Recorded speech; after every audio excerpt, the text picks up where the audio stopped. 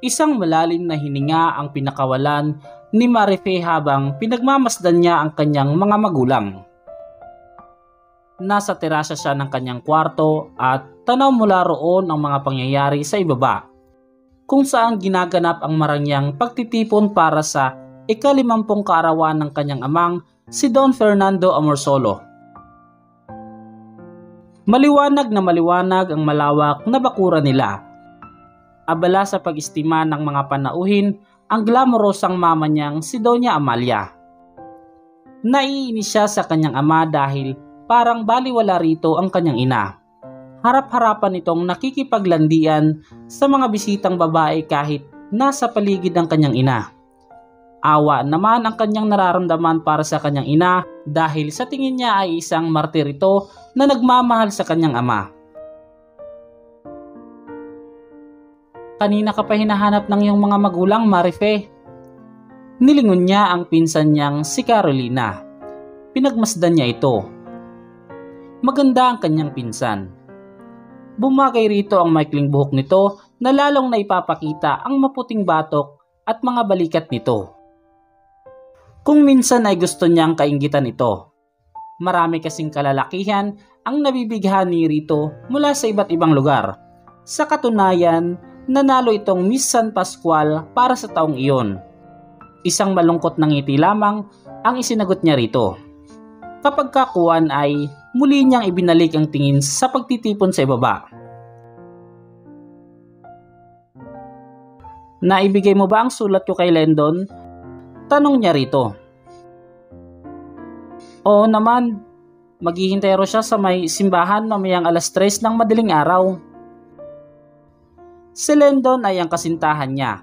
Anak ito ng isang ordinaryong magsasaka sa kanilang hasyenda kung kaya tutol ang kanyang mga magulang sa kanilang relasyon. Pero sadyang mahal niya ang kanyang kasintahan, kaya ipinagpatuloy niya ang relasyon niya rito kahit labag iyon sa kagustuhan ng kanyang mga magulang. Kumislap ang mga mata niya at niyakap niya ito. Salamat Carolina. Tatanawin namin ni Lendo na malaking utang na loob sa iyo ang lahat ng tulong mo sa amin. Ano ka ba? Huwag mong isipin yon. Mag-iingat kayo. Baka hindi na kita malapitan mamaya. Sapat na ang tulong mo, Carolina. Kami na ang bahala ni Lendon sa lahat. Halika, bumaba na tayo. Baka hinahanap ka na ni Uncle. Yaya nito sa kanya. Saglit na nag-atubili siya. Sa huli ay sumunod na rin siya rito marangya ang pagtitipon ng karawan ng kanyang ama. Bakit hindi? Ito ang pinakamayamang negosyante sa San Pascual. Ang kanyang ama ang nagmamayari ng Amarsolo Cement and Steel Manufacturing Company, ang isa sa mga nangungunang kumpanya sa buong Asia Pasipiko. Nilapitan niya ito. Happy birthday, Dad! Bati niya rito nasa kalagitnaan na ng pagtitipon ng pumanhik sa stage ang ama ni Marife at kunin ang atensyon ng mga panauhin. Magandang gabi sa inyong lahat. Nais kong magpasalamat sa lahat ng dumalo sa pagtitipong ito. Isa ito sa pinakaimportanteng gabi ng aking buhay. Hindi alam ni Marife pero bigla siyang kinabahan. Lalo siyang kinabahan nang biglang tumingin sa kanya ang kanyang ama Marife anak, halika rito sa tabi ko. Utos nito na ikinagulat niya. Lumapit siya rito. Si Marife ang aking kaisa-isang anak at tanging tagapagmana. Ang gabing ito ay hindi lamang gabi ko, kundi gabi rin ng aking kaisa-isang anak. Pablo, halika rin sa tabi ko. Dad, hindi niya maunawaan ang nangyayari. This night is also the engagement party of my only daughter, Marife and my future son-in-law, Pablo Samonte, the eldest son of my friend, Don Mariano Samonte. Tila bombang sumabog iyon sa pandinig niya. Natulala siya at hindi na niya namalayan ang paghawak sa kanyang kamay ni Pablo at ang paghalik nito sa kanyang pisngi. Iha, congratulations! Bati sa kanya ni Don Mariano. Noon siya nagising mula sa pagkatulala. Narinig niya ang masigabong palakpakan at pagbati ng mga panauhin. Inakay siya ni Pablo para sumayaw ang lahat ay nakatingin sa kanila. Nais niyang tumakbo at sumbatan ang kanyang ama, pero nung balingan niya ito, isang nagbabantang tingin ang nakita niya sa mga mata nito. Nais niyang umiyak. Hinanap ng kanyang mga mata ang kanyang ina, pero hindi niya ito nakita. Sa isang sulok ng hardin ay pinapanood ni Lendon ang nangyayari sa pagtitipon Galit na galit siya habang pinapanood na nagsasayaw sila Marife at Pablo. Akala ko ay baka sa lahat Marife. Marupo ka rin pala. Mukha ka rin pera.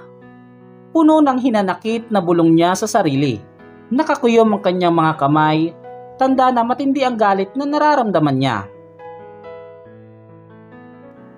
Eddie, naniniwala ka na sa akin ngayon, Lendon ani ni Carolina. Salamat sa malasakit mo. Kung hindi ko pa nasaksihan ang kataksilan ni Marife ay hindi kita paniniwalaan. Sana ay magising ka na sa katotohanan na hindi si Marife ang babaeng nababagay sa iyo. Sabi nito. Ngayon ay alam ko na ang katotohanan iyan. Isa siyang manuloko. Galit na sambit niya habang nakatanaw pa rin kina Marife at Pablo. Lendon, salamat sa malasakit. Yumakap ito sa kanya. Walang anuman, Lendon. Ang kapakanan mo lang ang tanging iniisip ko. Sagot nito. Inalis niya ang mga braso nitong nakayakap sa katawan niya at walang salitang lumabas siya ng bakuran ng mga amor solo. Mailap ka pa rin, Lendon. Pero, pasasaan ba at magiging akin ka rin? Sabi ni Carolina sa sarili habang hinahatid ng tanaw ang lalaki. Sorry Marife, nagkataon lamang na iisa ang lalaking gusto natin at alam mong hindi ako papayag na mapunta siya sa'yo. Carolina, anong ginagawa mo rito sa hardin? Narinig niyang tawag sa kanya ng isang kaibigan. Nagpapahinga, napagod kasi ako sa kakasayaw. Sagot niya. Well, do you want me to join you? Sorry darling, but I want to be alone. That is if you don't mind. All. See you at the dance floor later. Okay, thank you. Aniya. Pagkatapos ay ibinalik niya ang tingin kina Marife at Pablo. Matalim na tingin ang ipinakol niya kay Marife. Siya si Carolina Amorsolo, kapatid ni Don Fernando ang kanyang ama. Nang mamatay sa aksidente ang kanyang mga magulang, nagboluntaryo si Don Fernando na arugain siya matanda siya kay Marife ng tatlong taon. Magkasalungat sila sa lahat ng bagay. Mataas ang kanyang ambisyon sa buhay samantalang ang pinsan niya ay simple lamang. Hindi sila naging malapit sa isa't isa. Nakikipagkompetensya rin siya sa atensyon ng ama nito at maging sa ibang tao. She exerted more effort para mapansin ng mga tao sa paligid niya, samantalang si Marife ay parang sapat nang nasa isang sulok lang naiinis siya rito. Kahit hindi ito magpaganda ay napapansin pa rin ito ng mga kalalakihan. Aminin man niya o hindi, maganda talaga si Marife. Kahit hindi ito nakaayos ay namumukod tangi pa rin ang ganda nito. Parang hindi rin ito aware sa pakikipagkompetensya niya rito. Sa katunayan, sa kanya pa nito unang ipinakilala si Lendon. Carolina, Nais kong ipakilala sa iyo ang kasintahan ko, si Lendon. Babes, ito naman ang pinsan ko, si Carolina. Nakangiting pakilala ni Marife. sa kanila ni Lendon. Nabigla siya nang makilala si Lendon. 25 ang edad nito. Mataas ito kaysa sa karaniwang lalaki. Sa tansya niya ay nasa 6'2 ang taas nito. Matipuno ang pangangatawan nito at lalaking lalaki ang dating. Ang mga mata nito ay matiim kong tumitig at parang kay ilap ngumiti. Ito na yata ang pinakagwapong nilalang na nakita niya. Ikinagagala kitang makilala Carolina. Malagom ang tinig nito. Tinanggap niya ang nakalahad na kamay nito. Halos hindi siya makapagsalita. Kinilig siya nang magdaop ang kanilang mga kamay. Ang araw na iyon ang simula ng kanyang pantasya kay Lendon. Wala rin siyang pakialam kung anak mahirap ito. Ang tanging nais niya ay makulong sa mga bisig nito. At simula sa gabing iyon magiging kanya si Lendon. Napakasaya ko, Marife. Bulong ni Pablo sa kanya. Nais niyang mandiri dito. Gusto niyang itulak at sampalin ito. Pero ayaw niyang mapahiya ang kanyang ama kung gagawa siya ng eksena. You know this all along, didn't you? Sumbat niya rito. Yes, And I'm very glad to oblige. Matagal na kitang gusto pero napakailap mo. Pero kaibigan lang ang turing ko sa'yo. Isa pa, alam mong may kasintahan ako Pablo. At mahal na mahal ko siya. Asik niya.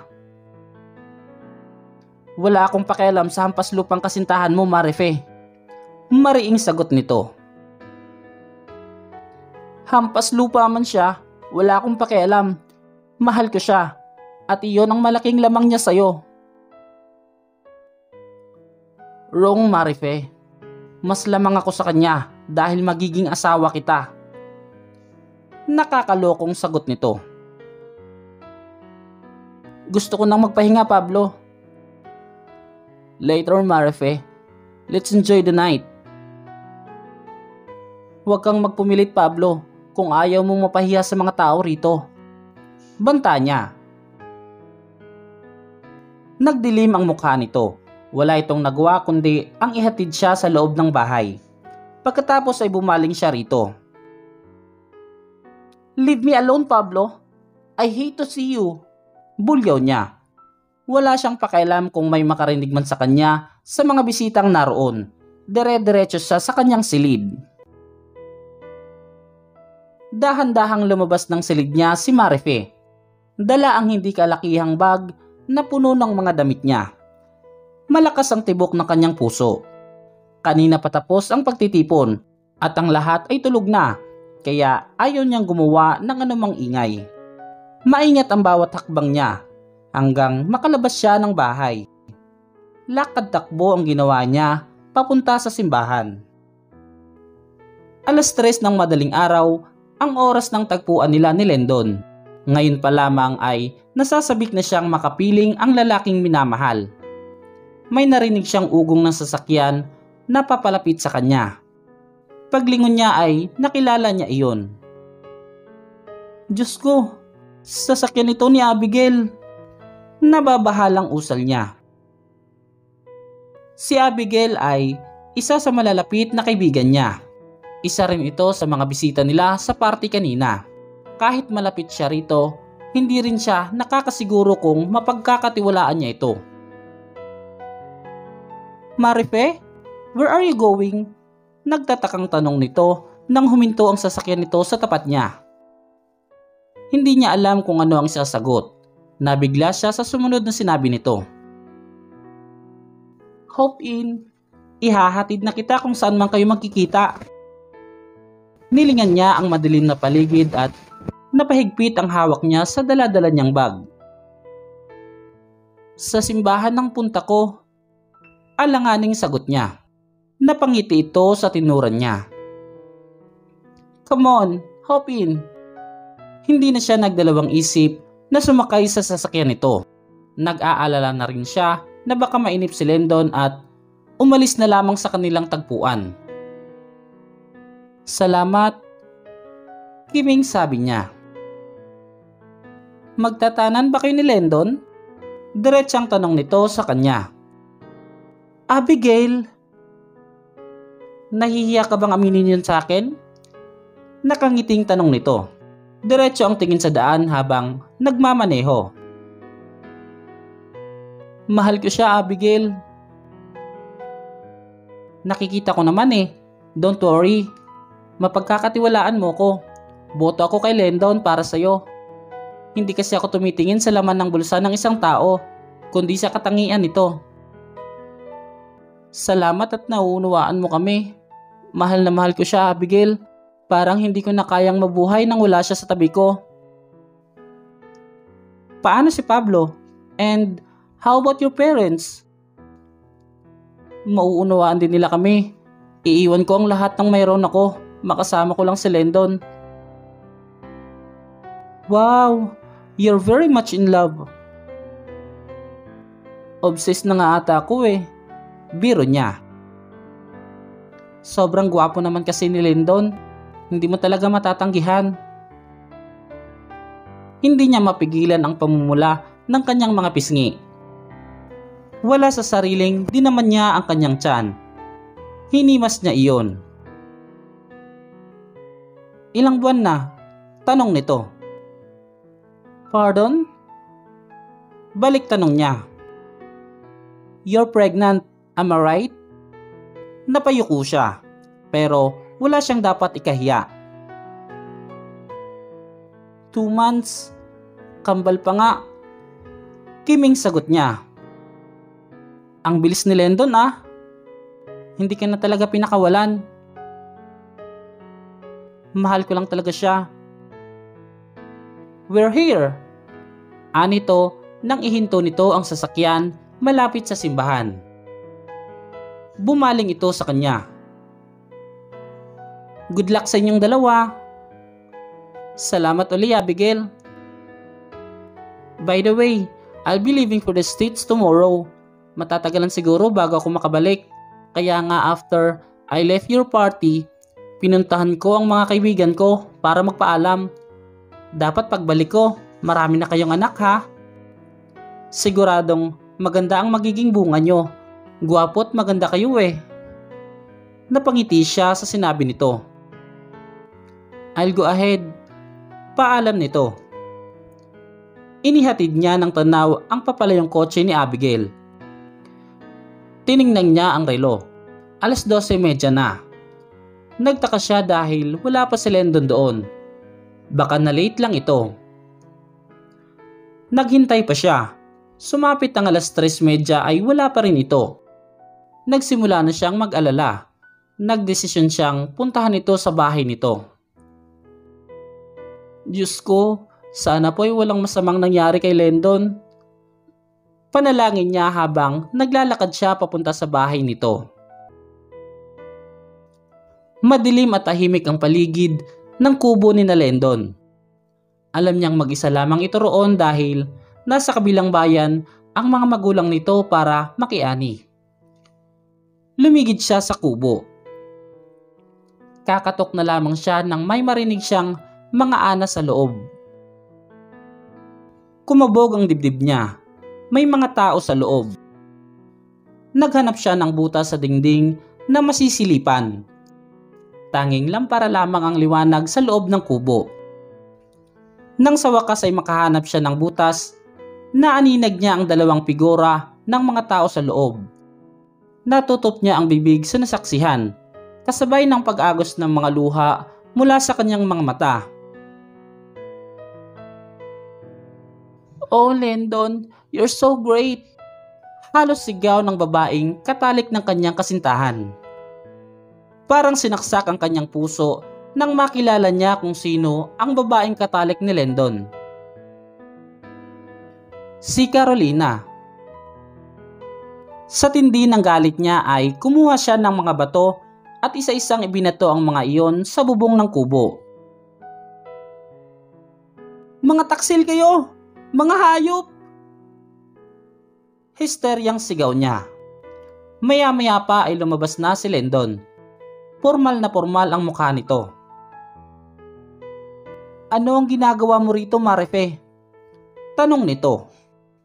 Hindi siya makapaniwala sa tanong nito. Ikaw ang tatanungin ko, Lendon. Bakit?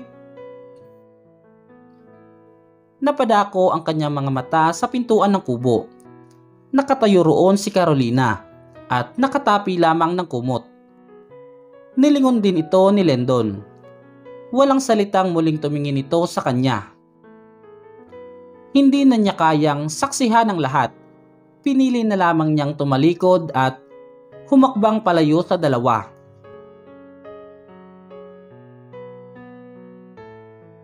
Mami! Nag-uunahang sumalubong kay Marife ang sampung taong gulang na kambal niyang sina Jetro at Angela. Oh, madapa ang baby ko. Pinupog niya ng halik ang kanyang mga anak. I got 100 in my math quiz, Mami. Pagmamalaki ni Jetro. Me too, Mami. I get a 100 in my English quiz. Pagmamalaki rin ni Angela. Ang gagaling naman ng mga baby ko. Dahil dyan, may pasalubong ako sa inyo na Chucky. Yehey!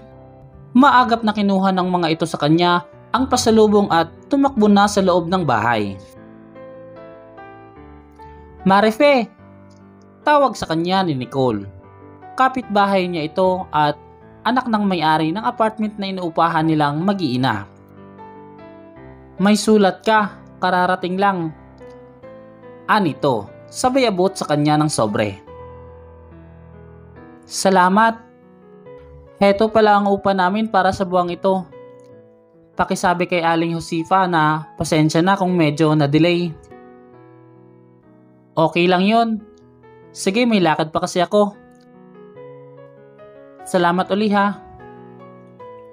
Pinagmasdan niya ang sobre habang papasok sa apartment. Maliit lamang ang apartment ng inuupahan nila. Sapat lamang iyon para sa kanilang mag-iina at kay Yaya Loring. Magmerienda ka muna, nagluto ako ng ginataan, sabi ni Yaya Loring nang lapitan siya nito. Salamat po Yaya. Ibinaba niya ang mga grocery bags sa mesa at naupo sa silya. Nag-aatubili siyang buksan ang sobrang iniabot ni Nicole. Kanino ba galing ang sulat na yan? Sa San Pascual po, Yaya. Bakit hindi mo buksan? Malumanay na wika nito. Nagkibit balikat siya, saka dahan-dahang binuksan ang sobre. Nakapalaman doon ang dalawang pahinang sulat kamay ng kanyang ina. Habang binabasa niya ang sulat ay hindi niya maiwasang tumulo ang kanyang mga luha. Nakamasid lamang si Yaya Loring. Pagkatapos basahin ang sulat, itiniklop niya iyon at muling isinilid sa sobre. Tumayo siya at dumungaw sa labas ng bintana. May sakit daw ang daddy. Pinapauwi ako ni mami sa lalong madaling panahon. Panahon na siguro para harapin mo uli ang iyong nakaraan, Marife. Ani ni Yaya Loring. Sa nakalipas na sampung taon, pilit kong kinalamutan ang lahat-lahat. Pero paano ko gagawin yon kung sa bawat umaga pagising ko at sa bawat gabi bago ako matulog ay katabi ko ang mga buhay na alaala na yon. Tuluyan na siyang napaiyak. Marife, nagsisisi ka ba sa desisyong ginawa mo? Hindi po, Yaya. Natatakot lamang po ako sa daratnan ko sa San Pascual. Magpakatatag ka. Ipaglaban mo ang lahat ng karapatan mo sa pamilya mo. Hindi lang para sa iyo, kundi maging para sa mga anak mo. Pinagmasdan niya ang mga anak niyang naglalaro sa sala. Tama si Yaya Loring. May karapatan ang kanyang mga anak na magkaroon ng magandang kinabukasan. Saan ka galing, Marife? Dumagungdong ang boses na sita ng kanyang ama. Ano ang ginagawa mo sa labasan sa ganitong oras? Nag-aalalang tanong naman ng kanyang ina. Ayaw niyang magsalita. Ang tanging nais niya ay umiyak ng umiyak. Ang sakit-sakit ng pakiramdam niya, ang kanyang pinakamamahal na kasintahan at ang kanyang pinsan na ay sumabog ng kanyang ulo sa natuklasan. Amalia, disiplinahin mo ang anak mo. Galit na sita ng kanyang ama. Tila wala itong pasensya na panoorin siya habang umiiyak kung kaya't pumasok na lamang ito sa kwarto. Anak, nag-aalalang hinaplos ng kanyang ina ang kanyang buhok. Mami, yumakap siya rito at doon na tuluyang napahagulgol. Magmula ng araw na iyon ay hindi na siya lumalabas ng bahay. Hindi na rin niya nakita sina Carolina at Lyndon. Si Pablo naman ay halos araw-araw na bumibisita sa kanya. Nadaragdagan ng kanyang alalahanin dahil sa kalagayan niya alam niyang malapit ng mahalata ang kanyang tiyan. Isang kahihiyan ang idudulot niya sa kanyang pamilya kapag nalaman ng mga magulang niya ang kalagayan niya. Pipilitin ng mga ito si Lendon na pakasalan siya. At ayaw niyang mangyaring ikasal siya sa isang lalaking napipilitan lamang. Isang pa siya ang kanyang nabuo. Marefe, mahinang tawag ni Yaya Loring. Nilingon niya ito si Yaya Loring ang tanging nakakalam ng kanyang pinagdaraanan. Bakit po Yaya? Malungkot na pinagmasdan siya nito. Kailan ko kaya uli masisilayan ang ngiti sa mga mata mo? Ay Miss Lendon Yaya. Matutuwa kaya siya kapag nalaman niyang magkakaanak na kami? Ayaw ko sanang sabihin ito sa iyo pero alam kong malalaman at malalaman mo rin. Nagtatanong ang mga matang tiningnan niya ito. Isang malalim na hininga ang pinakawalan nito bago uli nagsalita. Umalis na ng San Pascual si Lendon. Anito. At kasama niya si Carolina. No! Halos matulog siya sa kanyang nalaman. Hindi totoo yan. Sigaw niya. Niyakap siya nito. Iha, tama na. Hindi siya karapat dapat sa'yo. Minahal ko siya, Yaya. Ibinigay ko ang lahat-lahat. Si Carolina, itiniring ko siyang kapatid. Bakit nila ako pinagmukhang tanga? Mga hayop sila. Magpakahinahon ka, Marife. Alalahanin mo ang bata sa sinapupunan mo bumangon kang muli dahil darating ang araw na muli kayong maghaharap-harap. Galit na ring wika nito. Yaya, paano ko gagawin iyon? Silendo ng buhay ko. Hindi na ngayon, Marife. Simulan mo na siyang kalimutan at harapin ang bukas kasama ang anak mo. Hindi siya karapat dapat sa pagmamahal mo. Ano ito? Tutulungan kita, Marife. Aalalayan kita. Basta ipangako mong babangon ka. Yaya! Nang hihinang, yumakap na lang siya rito. Tumaka si Marife ng San Pascual kasama si Yaya Loring. Tinakasan niya ang manipulasyon ng kanyang mga magulang na ipakasal siya kay Pablo at para na rin sa kaligtasan ng kanyang magiging mga anak. Pero mas higit na dahilan ay upang malimutan si Lendon at makapagsimula uli. Hindi niya natapos ang kanyang pag-aaral dahil masela ng kanyang pagbubuntis dahil kambal ang kanyang anak. Nang masilayan niya ang mga ito, wala kahit nakatiting na pagsisisi siyang naramdaman sa kanyang puso. Labis ang naging malasakit ni Yaya Loring sa kanya. Ang ipon nito ang naging panawid gutom nila at panggasto sa kanilang pangangailangan habang buntis siya. Tatlong buwan pagkatapos siyang manganak ay natanggap siya sa trabaho sa isang garments factory bilang janitress. Habang nagtatrabaho ay nag-aral siyang manahi.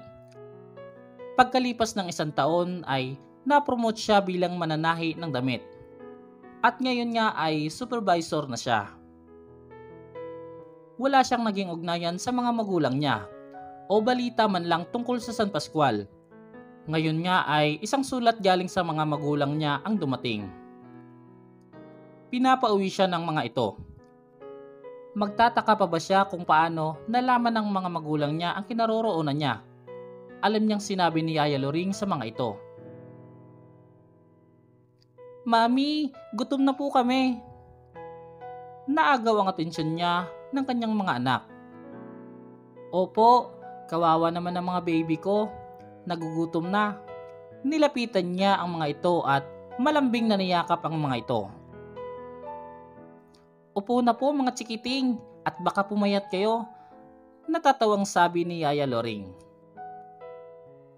Mami, sabi ni teacher, overweight daw po kami. Nakangusong sumbong ni Angela. Ano naman ang sagot mo kay teacher? Natatawang tanong niya. Sabi ko po, kasi teacher, masarap po magluto ng pagkain si Yaya Loring. Sagot ni Angela. Binola pa ako nito. Hayaan mo, sabihin mo kay teacher, papadalan ko rin siya ng luto ko para tumaba rin siyang katulad nyo. Sabi ni Yaya Loring. Yehey! Kakain na kami! Nagunahan ang kambal sa pagpunta sa pagkainan. Natutuwang pinagmasdan niya ang kanyang mga anak. Ang kambal niya ang nagbibigay sa kanya ng lakas upang mabuhay at harapin ang bukas. Hindi ka ba nabibigla sa desisyon mo? Pukaw kay Marife ni Yaya Loring. Hindi po Yaya, sagot niya rito. Sapat na ang sampung taon. Handa na akong umuwi sa San Pascual. Paano kung magkita kayo ni Lendon at Carolina? Ano ang gusto niyong gawin ko, Yaya? Iyakapin ko sila at batiin ng congratulations? Yun ba ang gusto mong gawin? Hindi, dahil hanggang ngayon, hindi ko pa rin alam kung ano ang gagawin ko. Sabi nila, para malimutan mo ang nakalipas na pag-ibig, dapat ay may isang pag-ibig din na dumating. Yaya, wala namang ganyanan. Lumalaki na ang mga anak mo. Napalaki ko sila ng maayos sa tulong nyo. Pero alam nila na buhay ang kanilang ama at umaasa na darating ang araw na magkikita-kita sila. Iyon ang katotohanan, di ba Yaya? Naiiyak na sambit niya. Umaasa ka pa rin ba? Ewan ko, sinasabi ng utak ko nakalimutan ko na si Lendon pero iba ang sinisigaw nito. Itinuro niya ang kanyang dibdib. Sampung taon na ang lumipas pero hindi ko alam kung saan at kailan ako dapat magsimulang lumimot. Para daw malimutan ang isang nakaraang pag-ibig, dapat ay matuto kang umibig uli. Bakit hindi mo subukang tanggapin ang pag-ibig ni Giner? Si Giner ang may-ari ng pabrikang pinagtatrabahuan niya. Masugid na manliligaw niya ito Matagal ko na rin pinag-isipan yan, Yaya. Magaang kasama si Ginier at unti-unti na rin nahuhulog ang loob ko sa kanya. Kasundo rin niya ang mga anak ko. Pero hindi sapat ang dahilan mo para sagutin siya. Dapat puso ang magsabi sa'yo. Isang buntong hininga ang pinakawalan niya. Tama nga ba ang desisyon niya na umuwi sa San Pascual? San Pascual na po! Nagising si Marife sa sigaw ng konduktor. Mahigit 15 oras ang biyahe niya. Mabuti na lamang at pinabaunan siya ng pananghalian at panghapunan ni Yaya Loring. Tumayo na siya at kinuha ang mga bagahe niya sa itaas ng upuan. Nakipagsiksikan siya sa mga pasahero sa pagbaba ng bus. Alas 4 na ng umaga malamig ang simoy ng hangin. Parang kailan lang, ganoong oras din nang masaksihan niya ang kataksilan ni na Lendon at Carolina. Maraming taon na ang lumipas pero bakit kay pait pa rin ang kanyang pakiramdam sa muling pagtapak niya sa Sampaskual? Marife? Napalingon siya sa tumawag sa kanya. Gardo? hindi makapaniwalang sambit niya. Marife, ikaw nga. Kumusta ka na? Masayang bati niya rito. Sa'yo ba ang tricycle na ito? Oo, ibinabiyahe ko ito sa ganitong oras kasi mas maganda ang kita. Lalo kang gumanda ah. Ang tagal nating hindi nagkita. Napauwi lang ako kasi may sakit daw si daddy. Kung ganoon, halika na at ihahatid na kita sa inyo. Siguradong matutuwa nito si Miriam pag ibinalita ko sa kanya na dumating ka. Kinuha nito ang hindi kalakihang bag na dala niya at inalalayan siyang sumakay sa tricycle. Kumusta na si Miriam? Sabihin mo pupuntahan ko siya pag nakaluwag ako sa oras. Hayaan mo, sasabihin ko pag uwi ko sa bahay. Nakangiting sagot nito sa kanya habang pinapaandar ang tricycle. Sasabihin mo pag uwi mo sa bahay? Bulalas niya. Sandali, wag mong sabihin... Oo, siya ang napangasawa ko at lima na ang anak namin. Ikaw kasi, ang tagal mong nawala kaya hindi mo tuloy alam ang mga nangyayari dito sa atin. Di ba mortal kayong magkaaway noon? Mortal na nagmamahalan ka mo Anito sabay tawa. Tingnan mo nga naman ang buhay ano, wika niya. Kayo ni Lendon, akala ko kayo na talaga ang magkakatuluyan. Halos hindi kayo mapaghiwalay noon eh. Parang gwardya sibil yun kung bantayan ka. Bigla siyang nawalan ng kibo sa sinabi nito. Nararamdaman pa rin niya ang sakit ng nakaraan. Nakalipas na yon, Kumusta na ang San Pascual? Sa nakikita ko sa mga dinaraanan natin, napakarami ng nadagdag na establishmento. Paglilihis niya ng usapan. Maunlad na ang San Pascual, Marife. Salamat kay Lendon. Anong ibig mong sabihin? Nagulat siya sa sinabi nito. Huwag mong sabihing wala ka ni isang balita sa kanya.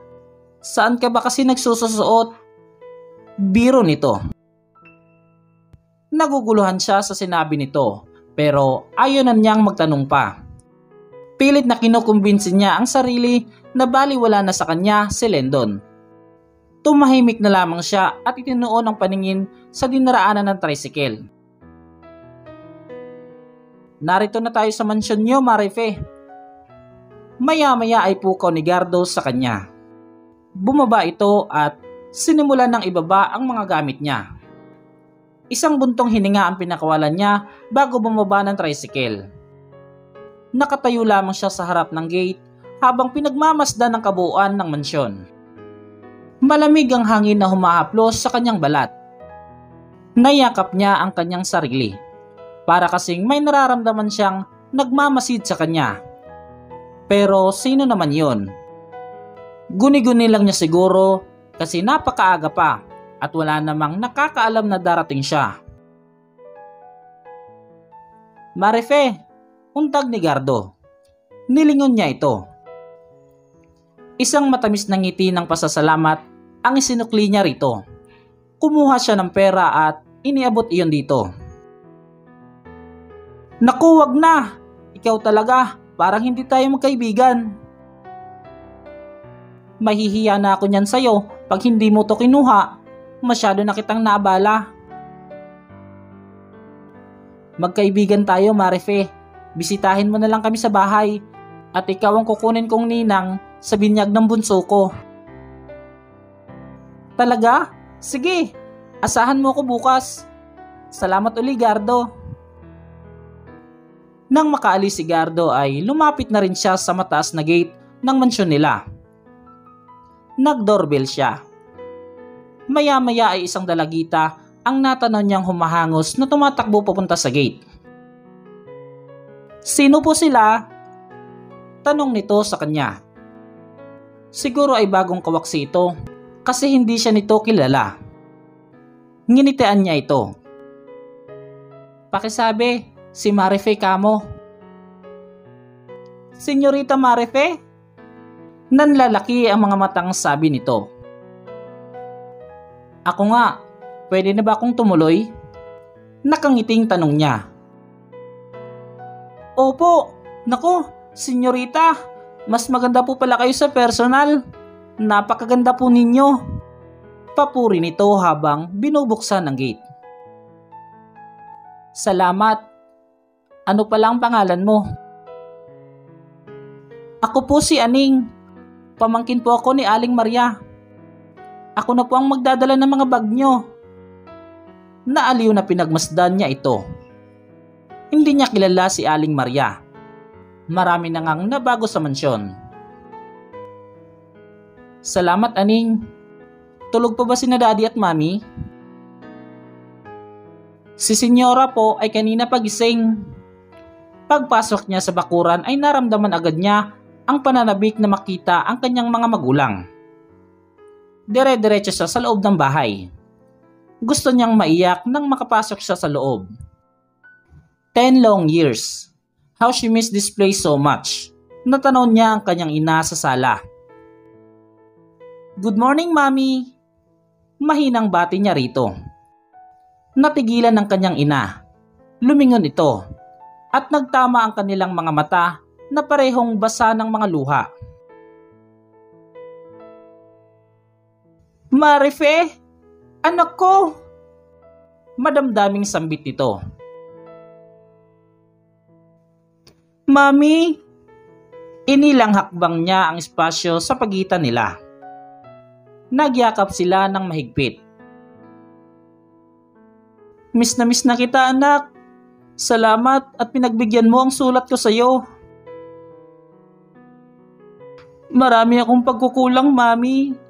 Hayaan yung bumawi ako. Aalagaan ko po kayo ni Daddy. Matagal ka nang hinihintay ng Daddy mo. Siguradong matutuwa siya pag nakita ka. Samahan niyo po ako sa kanya, Mami. Nasasabik na po akong makita si Daddy. Sabay silang pumanhik sa hagdan at tinungo ang silid ng kanyang mga magulang. At last, after 10 long years, she was home again. Mahimbing ang tulog ng kanyang ama. Pinagmasdan ito ni Marife. Hindi na ito katulad ng dati bago siya umalis noon. Maputi na ang buhok nito at kulubot na ang mukha. Napakunot noo siya at nilingon ng kanyang ina. Mami, may problema po ba tayo? She was a daddy's girl, kaya nga siya sobrang nasaktan sa ginawa noon ng kanyang ama. Hindi niya inasahan ang pagmamando nito sa buhay niya. Kilalang kilala niya ito. Alam niya kung may dinaramdam o iniisip itong suliranin base sa ekspresyon ng mukha nito. Pag-uusapan natin yan mamaya. Magpahinga ka muna. Malungkot na sagot nito. Mami, hinawakan niya ang kamay nito. Hindi po ako makapagpahinga ng maayos hanggat hindi ko nalalaman ang problema natin. Saglit na natigilan ito. Maya-maya ay tumayo ito at binuksan ang pinto papunta sa veranda. Sumunod siya rito. Nirespeto niya ang ilang minutong pananahimik nito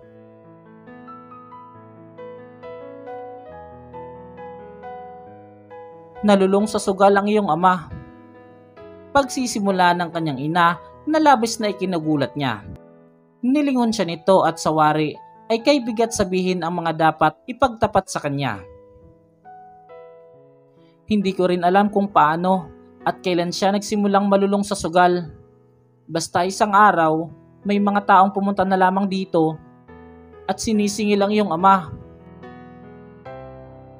Magkano po ang pagkakautang ng daddy? Tanong niya. 100 million pesos. Napapaiyak na sagot nito. My God! Paano natin mababayaran yon? How about the company? Natatarantang tanong niya. Before, we own 35% share in the company making us the controlling stockholder. Pero naagaw sa atin ang controlling power nang may bumili ng shares ng ibang stockholder. The new CEO of the company owns 50% shares making him very powerful. Napatalsik ang iyong ama sa kanyang pwesto bilang CEO. Labis na dinamdam iyon ng iyong ama. Marahil ay iyon ang dahilan kung bakit siya nalulong sa sugal. How about the hacienda? Parang may bara sa kanyang lalamunan habang itinatanong niya iyon. Tuluyan na itong napaiyak. I'm sorry, Marife. Kapag hindi natin nabayaran ang pagkakautang ng iyong ama, maiilit lahat ng mga ari-arian natin. Ang mansyon, ang hasyenda, ang mga apartments, pati na ang ibang shares natin sa kumpanya Isang buwan na lang ang taning sa atin, Marife. Kakausapin ko ang pinagkakautangan ng daddy. Magmamakawa ako sa kanya na bigyan niya tayo ng palugit. He's so ruthless and cruel. Ilang ulit na akong nakiusap pero kailanman ay hindi niya ako pinagbigyan. Baka may iba pang paraan para malusutan natin ang problemang ito. Besides, nagkautang si daddy sa sugal. It's illegal. Marife, sa kasino nagkautang ang daddy mo. May pinirmahan siya. Malinis ang dokumento. Isinangguni ko na rin ito sa abogado natin. Wala tayong lusot. Niyakap niya ito dahil halos hindi tumigil ang pagpatak ng mga luha nito. I'm sorry, Mami. Dapat hindi ako umalis. Naduwag ako sa mga nangyari. I thought it's the best thing that I should do during those time. Shh! Alam mo ba, I'm so proud of you. Nagawa mo ang gusto mo at ipinaglaban mo iyon. Maimosyong sabi nito. Oo, mami. We will help each other gagawa tayo ng paraan para hindi mailit ang mga ari-arian natin. Pagbibigay niya ng assurance dito.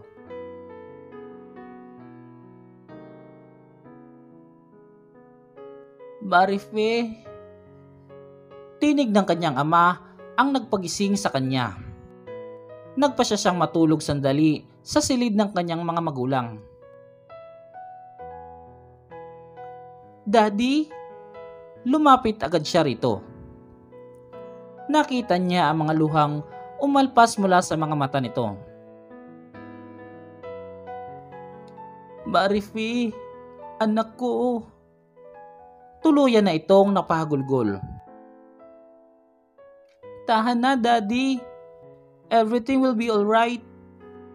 Dito lang po ako sa tabi nyo. I'm so sorry, anak. Hindi ako naging mabuting ama sa'yo. No, Daddy. I'm a prodigal daughter. Huwag po kayong magsalita ng ganyan.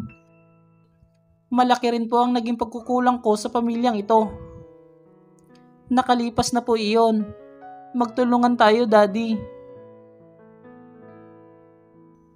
You know already?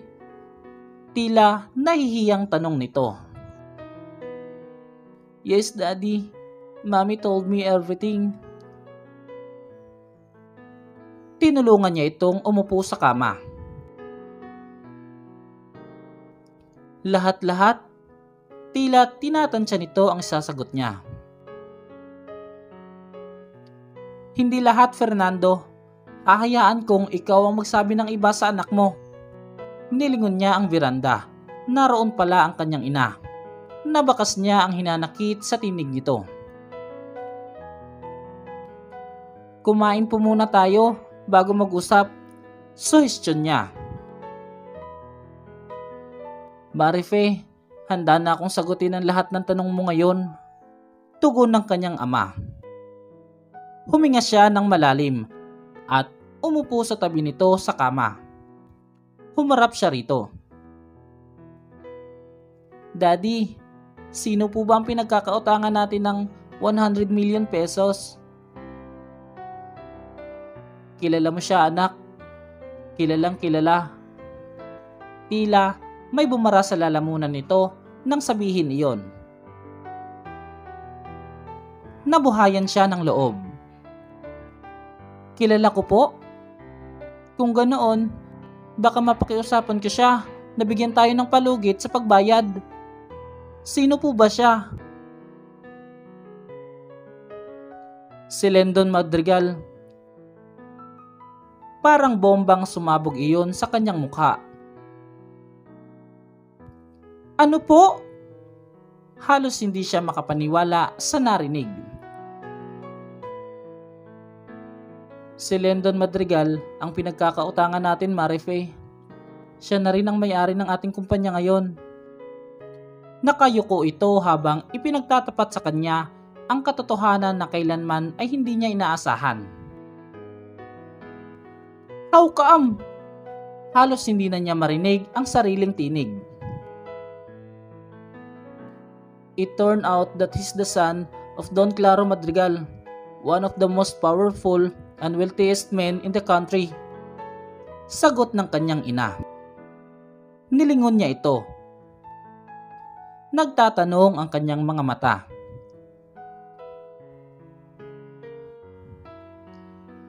He's the bastard of Don Claro, but also his soul hire.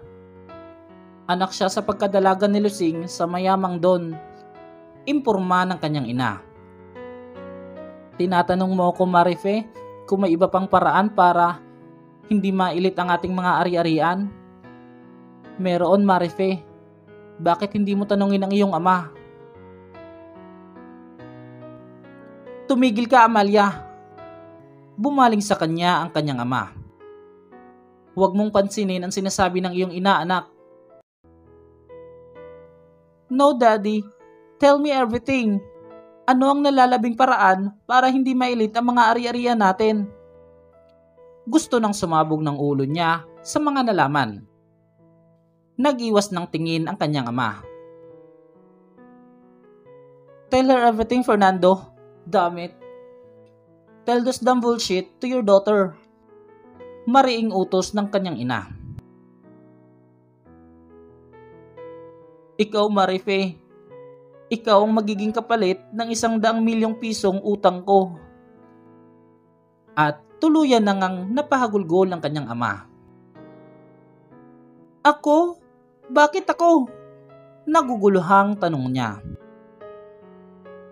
Iyon ang kondisyon ni Lendon Marife. Hindi maiilit ang mga ari-arian natin kung ikaw ang ipambabayad namin sa kanya. Tila nahahapong sagot ng kanyang ina.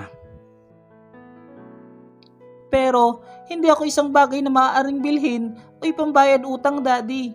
Tao ako. May isa ka pang dapat malaman. Dito na nakatira si Lendon.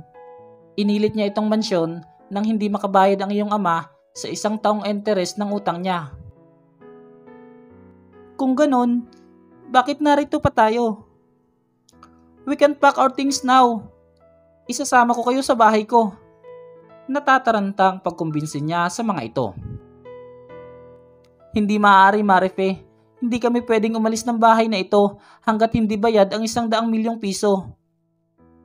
Anang kanyang mama. Diyos ko! Sambit na lamang niya. Ano po ang desisyon niyo? Anak kita at hindi ako papayag na maging pambayad ka sa mga kasalanan ko Tila kulang sa determinasyong sagot ng kanyang ama.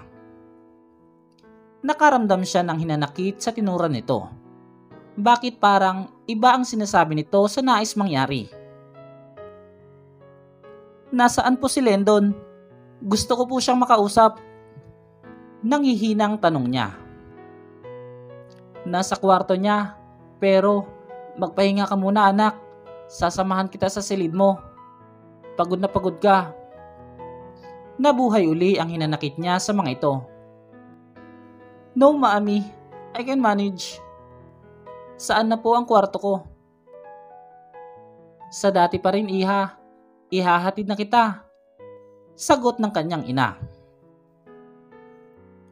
Hinalikan muna niya ang kanyang ama bago siya lumabas ng silid ng mga ito. Pinigil siya ng kanyang ina bago siya pumasok sa kanyang silid. Marife, ito ang silid na ginagamit ni Lendon. Itinuro nito sa kanya ang katapat na silid. At ang dulo ay ang silid na ginagamit ni Carolina. Narito sila ngayon. Tila sinaksak ang kanyang puso sa narinig. Tango lang ang sinagot niya bago tuluyang pumasok sa silid. Pagod na pagod siya. Ayaw na muna niyang mag-isip. Pakaramdam niya ay lalagnatin siya. Nakita niya ang mga bags niya sa tabi ng kama. Naalala niya ang mga anak na naiwan. Tinawagan niya ang mga ito at kinumusta. Pagkatapos makausap ang mga ito ay humiga na siya sa kama. Agad na nakatulog siya sa sobrang pagod, physical at emotional. Madilim na nang magising si Marife. Nanibago siya sa paligid. Saka lang niya naalalang nasa mansyon pala nila siya. Naalala niya ang mga kinasusuangang problema ng kanyang pamilya. Bumangon siya at inilabas ang mga damit niya mula sa mga bags. Inilagay niya ang mga iyon sa kloset. Napagtuunan niya ng pansin ang palibot ng kanyang silid. Walang nabago sa mga display. Halatang bagong pintura ang silid pero ang kulay ay katulad pa rin ng dati. Baby pink. Napadako ang kanyang tingin sa veranda. Unti-unting bumalik sa alaala niya ang nakaraan mahihinang katok ang nagpagising sa kanya. Bumangon siya at binuksan ang pinto ng silid. Napakunot noo siya. Madilim na ang paligid ng bahay at walang katao-tao. Saan galing ang katok na iyon? Muli niyang isinara ang pinto at inilak iyon. Maya-maya ay muli niyang narinig ang mahihinang katok. Marife, narinig niya ang mahinang tinig na tumatawag sa kanya. Nanlaki ang kanyang mga mata. Kahit nakapikit ay kilalang kilala niya ang boses na yon. Lendon? Bulalas niya. Dali-daling binuksan niya ang pinto ng veranda. Tumambad sa kanya ang napakagwapong mukha ng kanyang kasintahan. Nagmamadaling pumasok ito sa kanyang silid. Isinara agad niya ang pinto ng biranda. Hindi siya makapaniwalang nasa silid niya ito. Anong ginagawa mo rito? Paano kung mahuli ka ng mga gwardya? Mahinang usig niya rito. Hindi nila ako mahuhuli. Maingat ako. Anito, titig na titig sa kanya. Natigilan siya sa uri ng titig nito. Saka lang niya naalalang manipis nga pala ang suot niyang pantulog. Ani nagdoon ang kanyang katawan. Agad na tumalikod siya rito at natatarantang hinanap ang kanyang roba sa kloset. Natigil siya sa paghahanap nang maramdaman niya ang pagyakap nito mula sa kanyang likuran. Marife, anas nito. Ramdam na ramdam niya ang init na nagmumula sa katawan nito. Lendon! Mahinang ungol niya nang simulan nitong halikan ng kanyang punong tainga. Halos magtayuan ang kanyang balahibo. Mahal na mahal kita, Marife. Ikaw ang buhay ko. Bulong nito. Mahal na mahal din kita, Lendon. Iniharap siya nito at sinakop ang kanyang mga labi ng mga labi nito. Mariin at mapusok ang halik nito na halos magpatunaw ng kanyang mga tuhod. Gumanti na rin siya ng yakap at halik dito. Bumaba ang mga labi nito sa kanyang liig at nagsimulang maglumikot ang mga kamay sa kanyang katawan. Oh, Lendon! Nahihirapang daing niya. Para siyang lalagnatin. Hindi na niya alam kung paano nito nahubad ang kanilang mga damit. Saglit na pinagmasdan nito ang kanyang kabuuan. Nasa mga mata nito ang paghanga. Napakaganda mo, mahal ko. I'm all yours. Mahinang wika niya. Nabasa niya ang kasiyahan sa mga mata nito nang marinig ang sinabi niya. Muli siyang siniil nito ng halik sa mga labi. Kapag kakuan ay pinangko siya papunta sa kama. Maingat na ibinaba siya rito. Pumaibabaw ito sa kanya. Pagkatapos ay masuyong hinaplos ng kanyang buhok. Ramdam na ramdam niya ang kahandaan nito. Akin ka lang, Marife. Ipangako mo sa akin. Anas nito, punong-puno ng pagmamahal. Iyong iyo lang ako, Lendon. Pangako yan. Buong pagsuyong sagot niya. Muli ay naglapat ang kanilang mga uhaw na labi. Hinalikan ni Lendon ang bawat parte ng kanyang katawan. Halos mawalan siya ng malay sa sinsansyong nararamdaman. Mahal na mahal kita. Hindi kita pababayaan. Magtiwala ka sa akin, mahal ko at buong pagmamahal na muling sinakop nito ang kanyang mga labi. Naging maingat si Lyndon sa pagangkin sa kanya. Unti-unti rin siyang nakasasabay sa bawat indayog ng katawan nito. Sabay nilang narating ang luwalhati. Hindi kita pababayaan. Iyon ang pangako ni Lendon na kailanman ay hindi nito natupad. Namalayan na lang ni Marife na Umiiyak na pala siya. Pinahid niya ang mga luha niya at pumasok na sa banyo. Naligo siya at nagbihis. Kailangan niyang harapin si Lendon. Nais niyang matapos na ang problema ng kanyang pamilya upang makabalik na siya sa Cavite. Naghihintay na sa kanya ang mga anak niya. Saglit na natigilan siya nang maalala niya ang kanyang mga anak. Napaupo siya sa kama hindi dapat malaman ni Lendon na may mga anak ito sa kanya. Paglabas niya ng silid ay nasa lubong niya sa pasilyo ang dalagitang si Aning. Senyorita Marife, papunta na po sana ako sa silid niyo. Ipinapasabi po ni Senyor Lendon na kakain na raw po. Magalang na sabi nito. Natigilan siya sa narinig. Senyor Lendon, Nais niyang matawa. Noon ay halos hamakin si Lendo ng kanyang ama. Ngayon ay ito na ang bagong Panginoon ng mansyon nila. Salamat aning, huwag mo na pala akong tawaging senyorita. Ate Marife na lang. Baka po magalit sa akin si Senyor Lendon, senyorita. Ate Marife, aning, nakangiting pagtatama niya.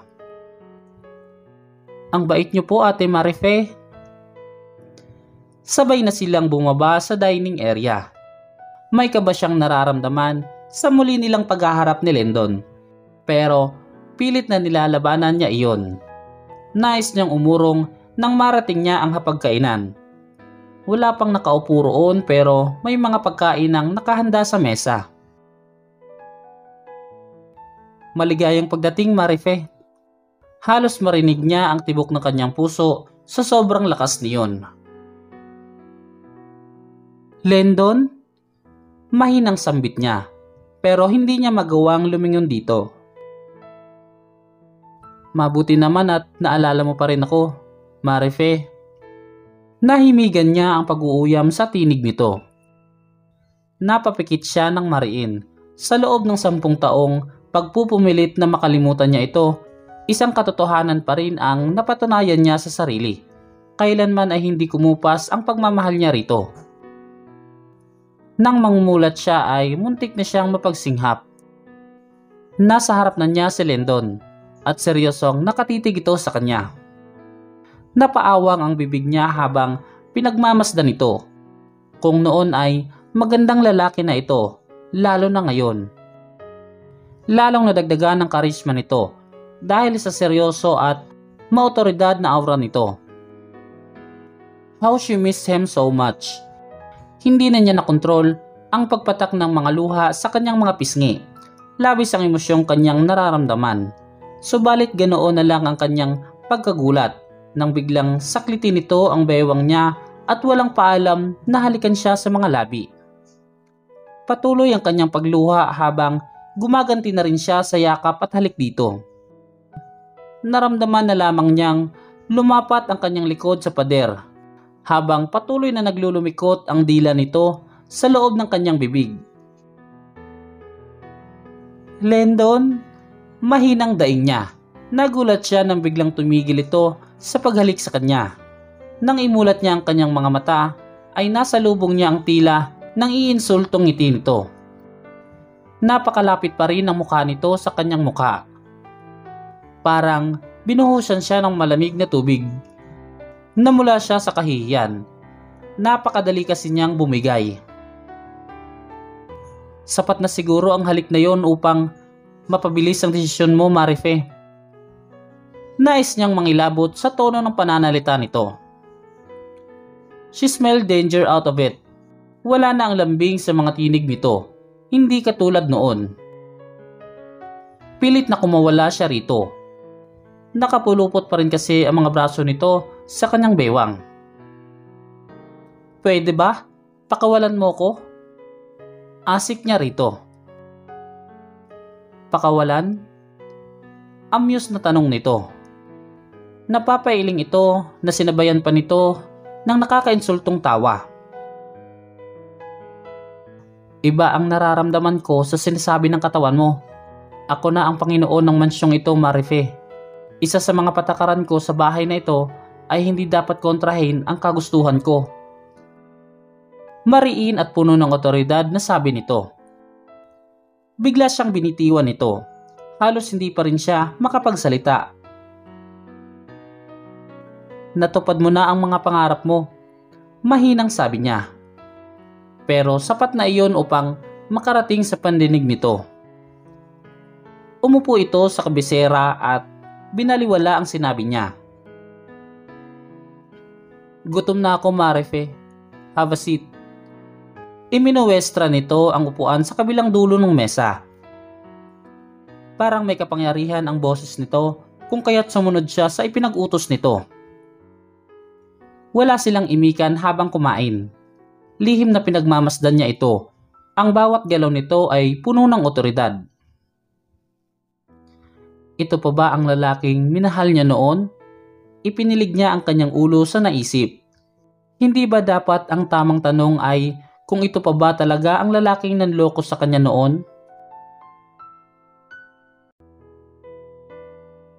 Nakapagdesisyon ka na ba, Marife?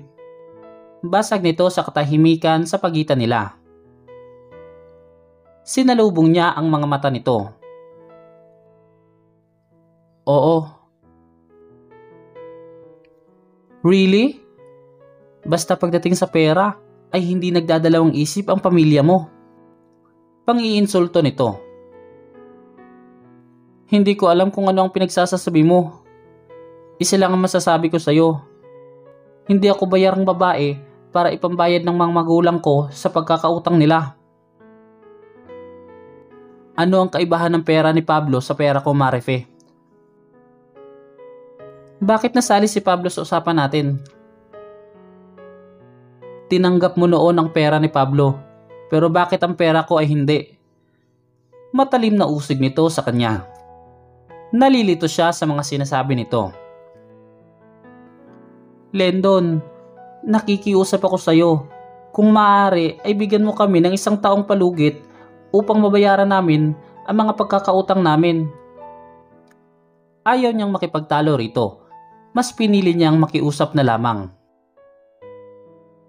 Isang daang milyong piso ang utang ng mga magulang mo sa akin. Baka nakakalimutan mo. Saan ka kukuha ng ipambabayad? Maghahanap ka ba uli ng isang mayamang mapapangasawa upang magsalba sa mga pagkakautang nyo? Naikayom niya ang mga kamay nais niyang sabuyan ito ng tubig sa paulit-ulit na pang-iinsulto nito sa kanya. My answer is, No, Marife. Sinabi ba ng mga magulang mo na hanggang bukas na lang ang palugit ko? Liar, ang sabi ni Mami ay may isang buwan pa kaming palugit upang mabayaran namin ang utang. Sigaw niya. Shut up! Sigaw nito na ikinagulat niya. Ang sama-sama ng loob niya. Hindi niya inaasahan na sisigawan siya nito. Isang buwan ang pakiusap na palugit ng ina mo. Pero hindi ko natatandaan na pumayag ako sa pakiusap niya. Mariing sabi nito. Kung yan ang desisyon mo, wala akong magagawa. Magsimula na kayong mag-impake at lumayas na kayo rito sa pamamahay ko bukas din ng umaga. Tumayo na ito at walang paalam na iniwan siya. Hindi siya nakahuma sa narinig. Bukas na iilitin ang kanilang mga ari-arian. Saan siya kukuha ng isang daang milyong piso sa loob lamang ng ilang oras? Kakayanin ba ng kanyang ama na may sakit sa puso ang pagpapalaya sa kanila? Baka ikamatay iyon ng kanyang ama. Magulo ang isip ni Marife nang tunguhin niya ang kanyang silid. Nagpalit siya ng pantulog at nahiga sa kama pero ayos siyang dalawin ng antok. Bumangon siya at nasuot ng roba. Isang napakalaking desisyon ang kanyang napagpasyahan. At ubiling kumatok siya sa pinto ng silid ni Lendon. Tatlong katok lamang ay bumukas na ang pinto nito. Napalunok siya ng mapagmasdan ito. Nakaruba lang din ito kaya nakalitaw ang mga pinong balahibo sa dibdib nito. Well, then Marife, have you changed your mind? Walang emosyong tanong nito. Kung papayag akong maging kabayaran sa pagkakautang ng aking ama, ano ang mga responsibilidad at obligasyon ko sa iyo? Diretsang tanong niya. Isa lang ang responsibilidad at obligasyon mo sa akin, Marife. Ano yun? Heto. Hinapit nito ang kanyang bewang at sinil siya ng halik sa mga labi. Walang paalam na ipinasok siya nito sa loob ng silid. Inihiga siya nito sa kama at doon ay naglumikot ang mga kamay nito sa kanyang katawan. Hindi na siya nito binigyan ng pagkakataong tumanggi. Gulat na gulat siya sa ginawa nito sa kanya. Kanina ay galit ito at iniinsulto siya. Ngayon naman ay parang baliw na baliw ito sa kanya. Lendon, please. Hindi niya maintindihan kung para saan ang pakiusap niya. Nahubad na nito ang kanilang mga damit at may pagmamadaling pinag-isa nito ang kanilang mga katawan. Isang nakakabinging katahimikan ang namayani sa loob ng silid. Tanging mga hapong hininga lamang nila ang naririnig sa bawat sulok. Iniangat ni Lendon ang katawan nito pero nanatiling nakadagan ito sa kanya. Ito ang tanging responsibilidad at obligasyon mo sa akin. War my bed, Marife. Kung kailan ko gusto. Mariing sabi nito. Isa ka lang sa mga pag-aari ko kaya wala kang karapatang magreklamo o humadlang sa mga ginagawa ko. Magmula ngayon, ayaw kong mabalitaan o makita na nakikipagmabutihan ka sa kahit na sinong lalaki. Nagkakaintindihan ba tayo?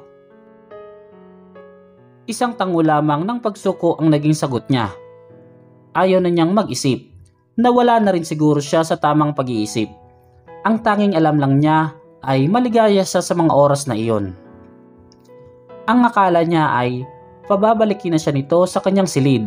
Pero muli siyang hinalikan at inangkin ito. Ramdam na ramdam niya ang pananabik nito sa kanya nakatulog siyang nakayakap dito.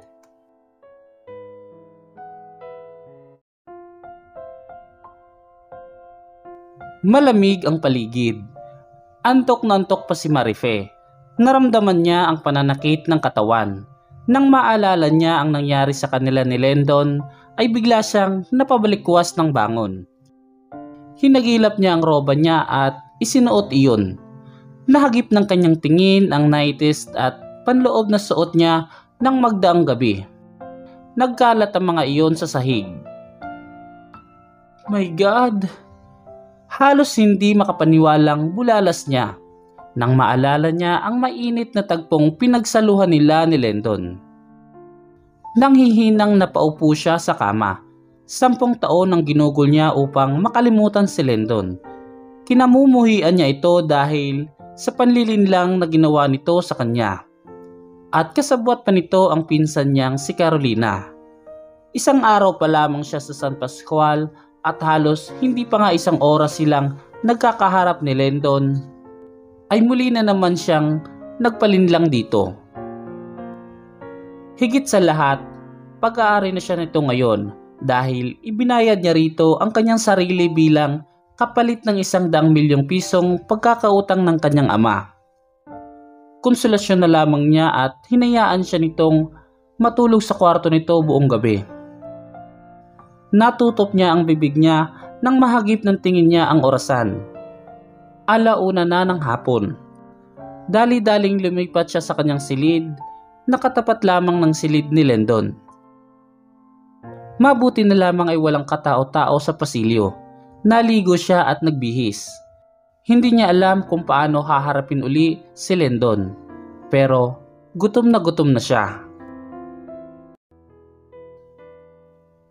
Marife, Walang magawa si Marife kundi pagbuksan ng pinto si Lendon. Wala siyang masabi nang mapagmasdan niya ito. Bagay na bagay rito ang suot nitong three-piece suit. Lalaking lalaki itong tingnan.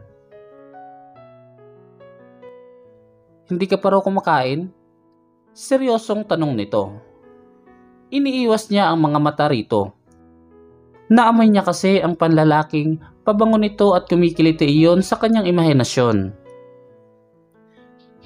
Kakagising ko lang kasi. Gusto niyang pagalitan ng kanyang sarili dahil nag-stammer siya sa pagsagot dito. Hindi niya alam kung imahinasyon lamang niya ang nakita niya sa mukha nito nang muli niya itong tingnan. Tila lumambot ang ekspresyon ng mukha nito, ngunit dagliring nawala iyon. Napansin niya ang isang katulong napapalapit sa kanila. May dala itong tray ng pagkain. Ipasok mo na yan sa silid ng senyorita Marife mo. Utos nito sa katulong. Hindi ka na sana nag-abala. Maari naman akong bumaba na lang. Tila wala itong narinig. Walang paalam na sumunod ito sa katulong papasok sa kanyang silid. Umupo ito sa couch at tila pagod na niluwagan nito ang pagkakatali ng necktie. Sumandal ito at sandaling ipinikit ang mga mata. Instinct siguro sa isang taong nagpapakagaga sa pagmamahal. Lumapit siya at dahan-dahang minasahe ang batok nito. Mmm, ungol nito. Nanatiling nakapikit ito Nasiyahan siya sa naging reaksyon nito. Pinagbuti niya ang pagmamasahe. Senyor, nakaayos na po ang mesa. Nagpaalam na ang katulong at lumabas na ito ng silid. Saka lamang iminulat ni Lendon ang mga mata nito. Tumayo ito at nagulat siya nang hawakan nito ang kanyang kamay. Saka inakay siya papunta sa mesang may mga pagkain. Ipinaghila pa siya nito ng upuan. Naguguluhan siya sa iniaakto nito. Naging masikaso ito sa kanya. Ipinaglagay siya nito ng pagkain sa pinggan at sinalina ng Diyos ang baso niya. Sa madaling salita, pinagsisilbihan siya nito. Salamat, mahinang sabi niya habang nakatingin dito. Tiningnan lamang siya nito at nagsimula ng kumain.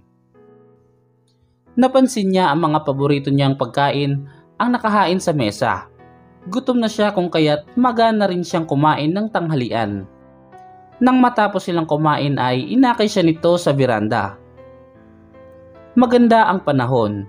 Nakakabingi ang katahimikan na namamagitan sa kanilang dalawa. Nakatingin lamang ito sa kawalan.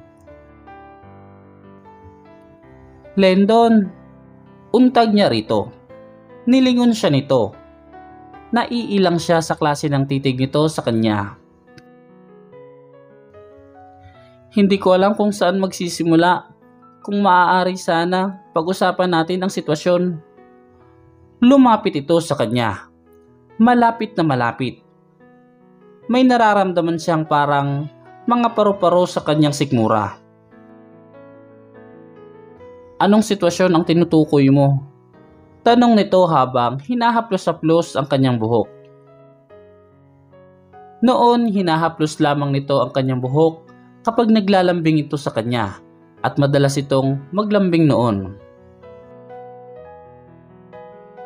Ibinayad ako sa iyo ng mga magulang ko. Napag-usapan na natin yan kagabi, hindi ba? Anito, tila naiinis ito. Pumasok na ito sa loob. Sinundan niya ito. Pero hindi malinaw sa akin ang lahat. Humarap ito sa kanya at walang paalam na hinapit ng kanyang bewang. Siniil siya nito ng halik sa mga labi. Pakiramdam niya ay nilindol nito ang buong pagkatao niya. Lendon.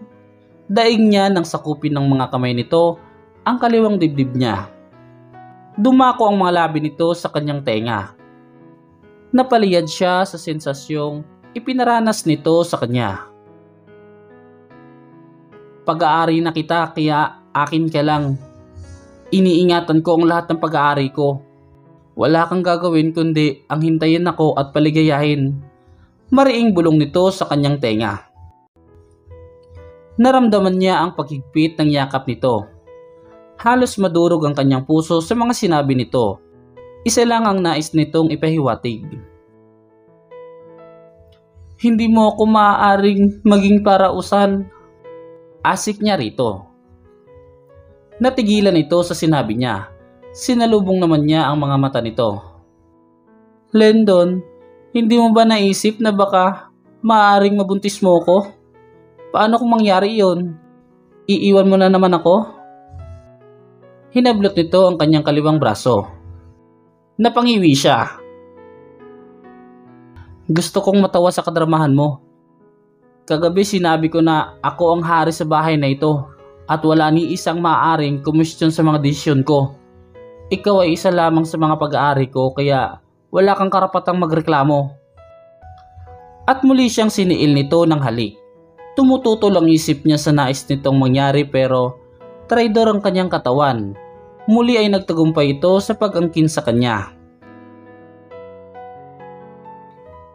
Pinagmamasdan ni Marife ang napakagwapong mukha ni Lendon. Tulog na tulog ito. Napangiti siya. Maingat na hinaplos niya ang mukha nito. Hindi ko maintindihan ng sarili ko kung bakit wala akong maramdamang pagsisisi sa naging desisyon ko. Mahal lang siguro kita ng sobra. Bulong niya rito. Sana sa pagkakataong ito, tuparin mo na ang pangako mo sa akin na pinanghawakan ko noon. Kahit sa panaginip man lang. Dugtong niya habang pinipigil niya ang pag-iyak. Maya-maya ay napagpasyahan niyang bumangon. Ipagluluto niya ito ng masarap na hapunan. Iminulat ni Lendon ang kanyang mga mata nang marinig niya ang mga yabag ni Marife na palabas ng silid. Hindi naman siya totoong nakatulog kaya narinig niya ang mga sinabi nito kanina. Isang makahulugang ngiti ang sumilay sa mga labi niya. Simula pa lamang ito ng paghihiganti ko sa iyo Marife. Sampu ng mga kapamilya mo. Bumangon siya at lumipat sa kanyang silid. Ang akala ni Marife ay nasa kwarto pa niya si Lendon pero wala na ito pagbukas niya ng silid. Nagkalakas loob siyang buksan ang pinto. Napangiti siya nang makita ito sa ibabaw ng kama. Tulog na tulog ito. Pumasok siya daladala ang tray ng pagkain. Nais niyang sorpresahin ito. Inilapag muna niya ang tray sa bedside table bago niya ito nilapitan at masuyong ginising. Lendon, Napakunot noo ito nang mamulatan siya. What? Asik nito. Nabigla man sa inasal nito ay pilit na binaliwala niya iyon. Nagluto ako ng hapunan. Nakangiting sabi niya sabay turo sa mesang kinalalagyan ng pagkain. Sabay na tayong maghapunan, yaya niya. Sa labis na pagkagulat niya ay bigla nitong hinawakan ng kanyang braso. Napangiwi siya sa sobrang diin ng pagkakahawak nito. Lendon, nasasaktan ako. Pagmamakaawa niya. Sa susunod, wag na wag mo akong gigisingin hanggat wala akong bilin. Naintindihan mo? Tila galit na sabi nito. Hindi kita binibigyan ng karapatan sa pamamahay ko kaya matuto kang ilagay ang sarili mo sa dapat mong kalagyan. Inis na binitawan siya nito. Pumasok ito sa banyo. Narinig niya ang lagaslas ng tubig. Halos tulala pa rin siya dahil sa mga naging pahayag nito pinipigil niyang tumulo ang kanyang mga luha. Ayaw niyang maging kaawa-awa sa paningin nito. Maya-maya ay lumabas na ito ng banyo. Nakatapi lang ng toalya ang ibabang bahagi ng katawan nito. Binuksan nito ang pinto. Aling Tessa! Tawag nito. Ilang saglit pa ay pumasok na ang katulong na tinawag nito. Ano po ang ipag-uutos niyo, senyor? Kunin mo ang mga pagkain yan. Ipakain mo sa aso. Utos nito. Nahindik siya sa tinuran nito. Pero mas pinili na lamang niya na wag magsalita. Nang makaalis ang katulong ay hinarap naman siya nito. Ayoko nang maulit ito. Wala ka rin karapatang pumasok sa silid ko nang walang paalam. Ipapatawag kita kung kinakailangan ko ang serbisyo mo. Napayuko na lamang siya. I'm sorry, Lendon. Hindi na mauulit. Paumanhin niya habang pigil ang pagpatak ng mga luha. Senyor Lendon Marife, tanging mga kapamilya at kaibigan ko lamang ang pinahihintulutan kong tawagin ako sa pangalan ko at hindi ka nabibilang o kailanman makakabilang sa kanila. Ang bawat salitang lumabas mula rito ay tila patalim na humihiwa sa puso niya. Taas noong hinarap niya ito. Nais niyang ibangon ang kanyang dignidad kahit man lang sa ganoong paraan. Huwag kang mag-alala, hindi hindi ko makakalimutan ang bawat salitang sinabi mo sa akin. Pero bago ako umalis, sa pagkakaalam ko, may pinirmahang dokumento ang ama ko nang umutang siya sa'yo ibinayad ko ang sarili ko kaya dapat ay meron din tayong kasulatan na bayad na kami sa'yo. Umangat ang isang sulok ng mga labi nito. Bakit hindi mo tanungin ang mga magulang mo? Sa kanila mo hingin ang hinahanap mong kasulatan sa akin. Ibinigay ko iyon sa kanila kaninang umaga. Tila nakakalokang sabi nito. Kung nais mo silang makausap, pasasamahan kita sa bago nilang tirahan Anong ibig mong sabihin? Pinalayas ko ng mga magulang mo rito sa mansyon kaninang umaga. Napakasama mo. Nahawa lang ako sa pamilya mo. Nakuha mo na ang gusto mo sa akin. Ngayon pwede na ba akong lumayas na rin sa bahay mo? Hindi pa. Hindi ba tinatanong mo ko kung ano ang responsibilidad at obligasyon mo bilang pambayad utang? Anito? Isang tango lamang ang isinagot niya. Pwes, tulungan mo ang mga katulong na maglinis ng bahay. May pagtitipong gagawin dito mamayang gabi. Iyon lang at iniwan na siya nito. Malungkot na sinundan niya ito ng tingin. Buong maghapong hindi nakita ni Marife si Lendon. Ang mga katulong naman ay tila nag-aalangan sa kanya nang tumulong siya sa mga ito sa paghahanda para sa pagtitipon. Alas 4 na ng hapon nang matapos sila sa paglilinis. Pagod na pagod siya nang pumasok siya sa kanyang silid. Nagpa siya siyang maligo upang mawala ang pangangati ng katawan niya. Pagkatapos ay pagal na humiga siya sa kama. Hindi na niya namalayang nakatulog na pala siya. Tunog ng cellphone ang nagpagising sa kanya. Nawala ang antok niya nang mabasa niya sa screen kung sino ang caller. Ang mga anak niya ang tumatawag narinig din niya ang malamyos na musika na nanggagaling sa hardin. Saka lamang niya napansin na madilim na pala sa labas. Nag-uumpisa na pala ang party. Hello baby! Masiglang batin niya nang sagutin niya ang tawag. Mami! Si Jetro ang nasa kabilang linya. Tuwang-tuwa ito. Dumungaw siya sa labas ng bintana. Tanaw niya roon ang hardina pinagdadausan ng pagtitipon. Mami, kailan ka po uuwi? Namimiss mo na si Mami? Malambing na tanong niya rito. Natanaw niya si Lendon. Napakakisig nito. Nasaksihan din niya kung paano nito bigyan ng atensyon ng babaeng katabi nito. Parang sinaksak ang kanyang puso nang makilala ang babae. Si Carolina. Nang halikan nito si Carolina sa mga labi, nakumpirma niya ang kanyang hinala si Lendon at ang pinsan pa rin pala niya. Tumulo ang kanyang mga luha. Labis siyang nasaktan. Wala na bang ibang gagawin si Lendon kundi ang saktan siya? Mami, are you crying? Untag ni Jetro. No baby, may sipon lang si Mami. Umalis siya sa bintana at naupo sa kama. Malapit nang umuwi si Mami. Magpapakabait kayo ni Angela kay Yaya ha. Bilin niya. Nakausap din niya si Angela. Nangungulila na siya sa kanyang mga anak. Mami, naka-hand-free ang cellphone. Pwede kwentuhan mo kami ng bedtime story? Paglalambing ng mga ito sa kanya. Of course, babies. Sige, higa na kayo. Sabi niya. Nakahiga na po kami, mami. Sabi ni Angela. Baka sa tinig nito na antok na antok na ito. Nagsimula na siyang magkwento.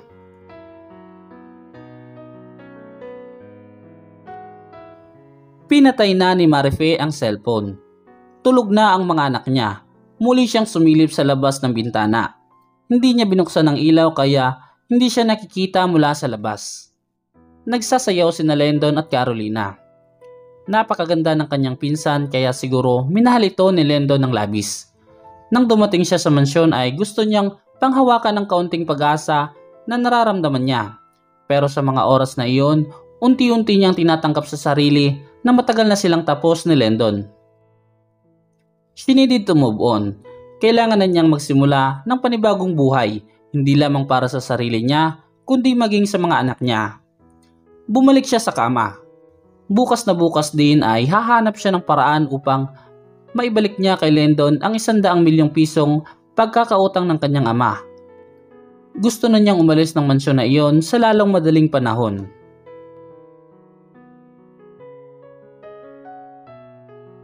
Alas 4 ng umaga pa lamang ay gising na si Marife. Nagmamadaling naligo siya at nagbihis. Kahapon habang nag-aayos siya sa hardin ay Ipinasabi ni Lendon sa isang kawaksi na tutulong siya sa pag-ani ng mangga ngayong araw. Kaya kahit puyat ay pinilit niyang bumangon. Mag-uumaga na rin siyang nakatulog dahil sa ingay ng party ng nagdaang gabi. Dinig na dinig din niya ang tawanan at lambingan ni Lendon at Carolina. Nais niyang bago pumunta sa manggahan ay makausap muna niya ang kanyang mga magulang Paglabas niya ng kanyang silid ay saglit na natigilan siya nang mapatingin sa silid ni Lendon. Alam niyang doon natulog si Carolina. Nasasaktan siya pero tanggap na niyang wala siyang karapatan. Nagmamadaling bumaba siya ng hagdan. Paglabas ng gate ay isang tricycle kaagad ang pinara niya. Nagpatid siya sa bahay ng kanyang mga magulang. Kung ganun, may pag-asa pang maibalik ang kalayaan ko, Mami. Nabuhayan ng loob si Marife pagkatapos niyang basahin ang kasulatan na pinirmahan ng mga ito at ni Lendon. Nakasaad sa papeles na yan na matatapos ang iyong paninilibihan sa mansyon kung mababayaran natin siya ng 150 million pesos. Sabi ng kanyang ina. Pero saan tayo kukuha ng ganoong kalaking halaga? Napakalupit ni Lendon. 50 million ang tubo nito sa pagkakautang nila. Ano ang nais nitong gawin? Ang ibaon sila sa kumunoy? Hindi niya maintindihan kung bakit sila pinahihirapan ito. Kung tutuusin, ito ang may atraso sa kanya, pero bakit ito pa ang may ganang magalit at magmalaki? Mami, mahal niyo po ba ako? Tanong niya. Marife, ano ba namang tanong yan? Mahalaga sa akin ang aking kalayaan, Mami. Kung magtatagal ako kay Lendon, tuluyan ang masisira ang buhay ko. Anak, patawarin mo kami ng daddy mo. Mami, hindi po ako nanunumbat. Naparito ako upang hingi ng permiso ninyo. Permiso para saan? gusto ko pong ipagbili ang Isla Dominga sa Hawaii. Ang Isla Dominga ay namana niya sa kanyang lola, ang ina ng kanyang ama. Napakahalaga niyon dahil pag-aari iyon ng kanilang angkan. Ilang henerasyon na ang nagdaan. Ang bili ng lola niya, kahit gaano kahirap ang buhay nila, ay huwag na huwag niyang ipagbibili ang isla dahil iyon ang nagsisilbing buhay na alaala ng bawat henerasyong dumaraan sa kanilang angkan. Kagabi ay humingi na siya ng tawad sa lola niya. Nag-alay siya ng panalangin dito. Kung mawawala man ang isla sa kanilang angkan, iyon ay upang tubusin ang kanyang kalayaan. Alam niyang maiintindihan siya ng kanyang lola. Nasa pangalan ko ang isla. Sapat na iyon upang mabayaran ko ang kalayaan ko. Hinawakan ng kanyang ina ang kanyang mga kamay. Patawarin mo kami ng daddy mo. Naging duwag kami na maghirap. Ngayon na ikaw ang umaako ng aming karuwagan. Wala kayong dapat ay pag-alala, Mami. Naiintindihan ko po kayo. Gawin mo kung ano ang sa tingin mo ang makakabuti, Marife. May sakit na rin ang iyong ama. Napag-usapan namin na ipagbili na rin ang natitirang shares sa kumpanya. Gamitin natin ang napagbilihan ng mga iyon sa ating muling pagsisimula. Napaiyak siya sa sinabi nito. Nagyakapan sila ng mahigpit. Alas 5 nang dumating si Marife sa manggahan. Magandang umaga po, nakangiting batin niya sa mga ito. Pinapunta po ako rito ni Len, um, Senyor Lendon. Pinapatulong niya po ako sa anihan ng mga mangga. Nagkatinginan ang mga trabahador alam niyang nagtataka ang mga ito sa presensya niya roon. Kahit paano ay may nakakakilala pa rin sa kanya sa mga ito. Sige Ining, halika tulungan mo ako sa paglilista ng mga ani. Anyaya sa kanya ng isang babaeng trabahador. Salamat po. Magalang na sagot niya. Nagsimula na siyang tumulong sa mga ito. Lumipas ang buong maghapon na hindi niya nakita si Lendon. Nagpapasalamat siya at hindi ito nadaan sa manggahan. Walang pumuna sa kanya. Alas 6 na ng hapon nang mapagpasyahan niyang umuwi. Nag-aabang siya ng tricycle sa gilid ng kalsada nang may humintong kotse sa tapat niya. Nanlaki ang mga mata niya nang makilala ang sakay niyon. Si Pablo. Hello Marife! Nakangiting bati nito. Pablo? Natutuwa siya at nagkita uli sila. Kaibigan naman talaga niya ito noon. Naiinis lang siya rito dahil sobrang kulit nito. Lalo na nang hindi man lang ito tumutol nang i-announce ng kanyang ama ang engagement nila. Ihahatid na kita sa mansyon. Alok nito. O kaya, baka pwede kitang maimbitahan munang kumain sa labas. Doon sa karinderya ni Aling Celia, Nakangiting dagdag pa nito. Huwag mo kong biruin, nagugutom talaga ako. Ang swerte ko talaga ngayong araw na ito. Parang ko'y nasabi pa nito. Natawa siya. Ikaw talaga, hindi ka pa rin nagbabago. Kalug ka pa rin. Natatawang pakli niya. Gustuhin ko mang sumama sa iyo ngayon ay hindi pwede. Hinihintay na ako sa mansyon eh. Pero ang sabi mo, gutom ka na. Oo, pero sa mansyon na lang ako kakain. Hindi pwede. Ang totoo, may dala na akong pagkain. Kinuha nito ang isang plastic. May laman iyong ilang styrofoam ng Jollibee. Di ba paborito mo ito? Tanong nito sa kanya. Talagang ginutom na ako ng todo? Sige na nga, kain na tayo. Doon na lang tayo sa ilalim ng puno. Itinuro niya ang isang malaking puno ng mangga. May mesa ron. Masaya silang kumakain habang nagkukwentuhan. Maya-maya ay nagseryoso si Pablo. Totoo bang nabalitaan ko na ikaw raw ang pinambayad kay Lendon sa utang ng daddy mo? Isang nahihiyang ngiti ang isinagot niya rito.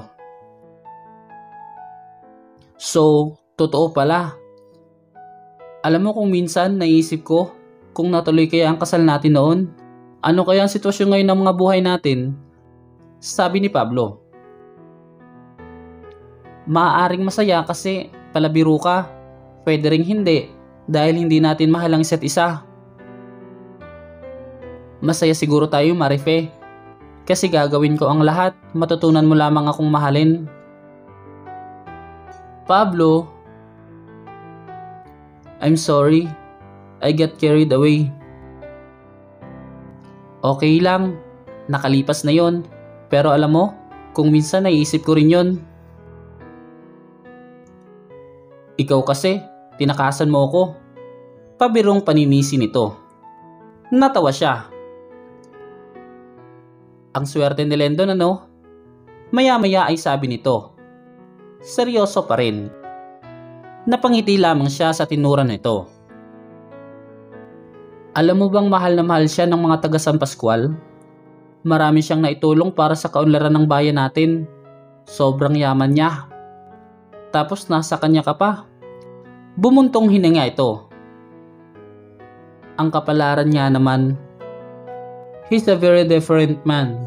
Very rich, cruel, and dangerous. Marife, nagulat siya nang marinig ang galit na tawag ni Lendon. Napatayo siya. Samantalang si Pablo ay pinagmamasdan lamang siya sa kanyang reaksyon. Hindi kasi niya naitago ang takot na nararamdaman niya tuwing naririnig niya ang galit na tinig ni Lendon. Hindi niya alam pero parang nagkakaroon na siya ng nervyos dito. Lumapit sa kanila si Lendon. Kasama nito si Carolina. Madilim na madilim ang mukha ni Lendon, samantalang naka-smid naman ang pinsan niya. Lendon, kumusta na? Bati ni Pablo rito. Actually, kadarating ko lang galing ng States. Natanaw ko kasi si Marife kaninang hapon. Napawis na pawis habang tumutulong sa manggahan. So, I decided na dalhan siya ng paborito niyang pagkain. Maraming pagkain sa mansyon. Sabi ni Lendon. Gumagalaw ang mga muscle nito sa mukha. Natakot siya sa ekspresyon ng mukha nito. Sa loob ng ilang araw na pananatili niya sa poder nito, alam niya kung kailan ito galit o galit na galit. At sa mga oras na iyon, alam niyang sobra ang galit nito. I know, sagot ni Pablo. Kaya lang, malayo pa siya sa mansyon. Ayaw kong magutom siya. Tumingin siya kay Lendon. Senyor Lendon, pasensya na po. Kinuha niya ang mga gamit niya sa kawayang upuan. Amuse na napatingin sa kanya si Pablo. Nagtataka siguro ito kung bakit Senyor Lendon ang tawag niya sa kanyang dating kasintahan. Pablo, uuwi na ako. Salamat nga pala. Pinaran niya ang paparating na tricycle. Wait! Habol ni Pablo. Mali naman yata na may sasakyan ako tapos pasasakayin kita ng tricycle? Tila, baliwala rito ang galit ni Lendon. Pablo, hayaan mo na ako. Saway niya rito. Kinakabahan siya, lalo na nang lingunin niya si Lendon. Nakatingin lang ito sa kanya. Okay, mag-iingat ka. Hinayaan na lamang siya ni Pablo na makasakay sa tricycle. Pare, mauna na ako sa inyo. Paalam ni Pablo. Isang malakas na suntok sa muka ang isinagot ni Lendon dito. Sumad siya dito sa lupa. Napatili si Carolina. Lendon! Back off Pablo. Mareface mine. Banta niya rito. Pagkatapos ay dire-diretso siya sa kanyang sasakyan natatarantang sumunod si Carolina sa kanya. Lendon! Narinig niyang tawag ni Pablo. Napatigil siya sa paglalakad pero hindi niya ito pinag-aksayahang lingunin. I love her. Yun ang sandata ko upang maagaw siya sa'yo. Determinadong wika ni Pablo. Sumakay na siya sa kotse niya. Sumakay na rin si Carolina pinaharurot niya ang kotse. Napatili si Carolina sa kabiglaan. Mula sa beranda ay natanaw ni Marife na papasok ang humahagibis na sasakyan ni Lendon. Napalunok siya at nakaramdam ng takot. Alam niyang galit ito. Tumas! Tawag ni Lendon sa driver. Sa tono pa lamang ng boses nito ay mahihimigan na ang galit humahangos na lumapit dito si Mang Tomas. Si Mang Tomas ang tanging kaibigan ni Lendon nung naghihirap pa ito. Nang yumaman ito ay kinuha ito ni Lendon bilang driver. Hindi lamang ito isang driver kundi isang matalik na kaibigan. Inihagis nito ang susi ng sasakyan kay Mang Tomas na sinalo naman ng huli. Ihatid mo si Carolina sa hotel utos nito habang nagmamadaling pumasok sa loob ng bahay. But, Glendon, tila naiinis na tawag ni Carolina. What? Nanlilisik ang mga matang nilingon nito ang pinsan niya. Nothing. I'll go ahead. Sabi na lamang ni Carolina nang makita ang matinding galit sa mukha ni Lendon. Nagmamadaling pumasok si Lendon sa loob ng bahay Maya-maya ay narinig niya ang malakas na pagkatok nito sa pinto ng kanyang silid. Marife! Galit na tawag nito sa kanya. Buksan mo ang pinto kung ayaw mong gibain ko ito. Nanginginig ang kamay na binuksan niya ang pinto. Pagkabukas niya ay agad na hinablot nito ang kanyang kanang braso. Magmula sa araw na ito ay ayaw na ayaw kong mababalitaan o makikita na nakikipag-usap ka kay Pablo o kahit na sinong lalaki. Nagkakaintindihan ba tayo Marife? Galit na galit na usig nito. Lendon, nasasaktan ako. Naiiyak na reklamo niya. Tila nahimasmasa naman ito nang makita ang pagsungaw ng mga luha sa kanyang mga mata. Nagulat siya sa sunod na ginawa nito. Niyakap siya nito ng mahigpit. Ramdam na ramdam niya ang bilis ng pintig ng puso nito naririnig din niya ang tila hapong paghinga nito. Dahil siguro sa pagod sa trabaho at sa takot niya rito kanina kaya hindi na niya napigilan ang mapahagulgol. Napayakap siya ng mahigpit dito at isirubsob ang mukha niya sa malapad na dibdib nito. Shh! Pag-aalo nito habang hinahaplos nito ang mahaba niyang buhok. Hindi ko naman alam na darating si Pablo. Basta na lamang huminto ang sasakyan niya sa tapat ko. May mga dala siyang pagkain. Gutom naman talaga ako kanina kaya pinaunlakan ko na ang paanyaya niya. Paliwanag niya habang hindi mapigil ang pag-iyak. Pangako, hindi na iyon mauulit. Iiwasan ko na siya sa susunod. Please, huwag ka nang magalit. Pakiusap niya. Naramdaman niya ang mahigpit ng yakap nito sa kanya. Maya-maya ay lumapat ang mga labi nito sa mga labi niya. Masuyo ang mga halik nito. Napapikit siya ng daanan ng mga labi nito ang mga luhang naglalanda sa kanyang mga pisngi. Tila sa pamamagitan niyon ay matutuyo ang kanyang mga luha. Lendon, anas niya. I'm sorry for my rudeness. Nagkatitigan sila walang nais magsalita. Parang iisa ang nais nilang mangyari ng mga oras na iyon. Sabay nilang sinalubong ang kanilang mga labi. Tila uhaw na uhaw sila sa bawat isa. Minsan pa, muli niyang isinuko rito ang sarili niya.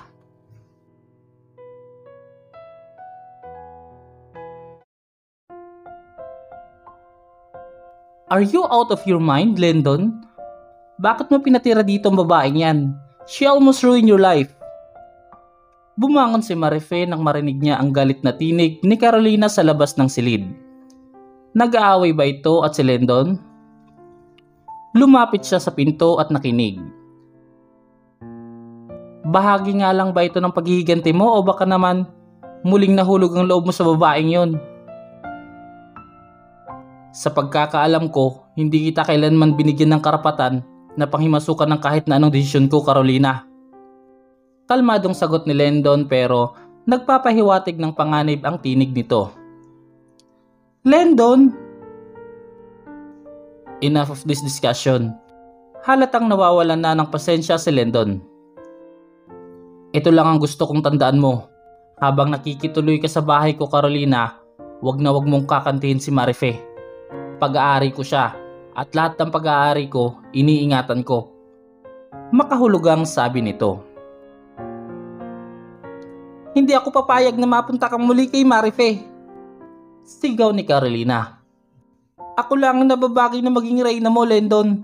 Ako lang. Hindi siya mapakali. Dumating na pala si Carolina. Ano ang mangyayari sa kanilang muling pagharap? Pero siya ba ang dapat matakot dito? Siya ang inapin nito noon. Magpapaapi pa ba siya ngayon? Nag-ipon siya ng lakas na loob bago lumabas ng silid. Dumiretso siya sa kusina upang tumulong sa mga gawain. Magandang umaga! Masiglang bati niya sa dalawang katulong na naratnan niya roon. Magandang umaga naman po, Senyorita Marife. Sabay na bati naman ng mga ito. Ano ba ang maaari kong maitulong sa inyo? Tanong niya. Naku, Ate Marife, mahigpit pong bilin sa amin ni Senyor Lindon na wag na raw po namin kayong patulungin sa mga gawaing bahay. Hayaan daw po namin kayong makapagpahinga. Sabi ni Aning. Sinabi ni Lendon iyon? Hindi makapaniwalang tanong niya. Opo, senyorita. Mukha nga pong maganda ang gising ni senyor ngayong umaga. Binati po kami ng nakangiti. Nanunod yung sabi ni Aning. Alam niyang namumula ang kanyang mga pisngi sa sinabi ni Aning. Hindi kaila sa mga kasambahay ang sitwasyon nila ni Lendon pero walang nais magtanong sa mga ito. Pero wala naman akong gagawin ngayon tutulungan ko na lang kayo. Senyorita, baka po sisantihin kami ni senyor kapag nalaman niyang sinuway namin ang utos niya.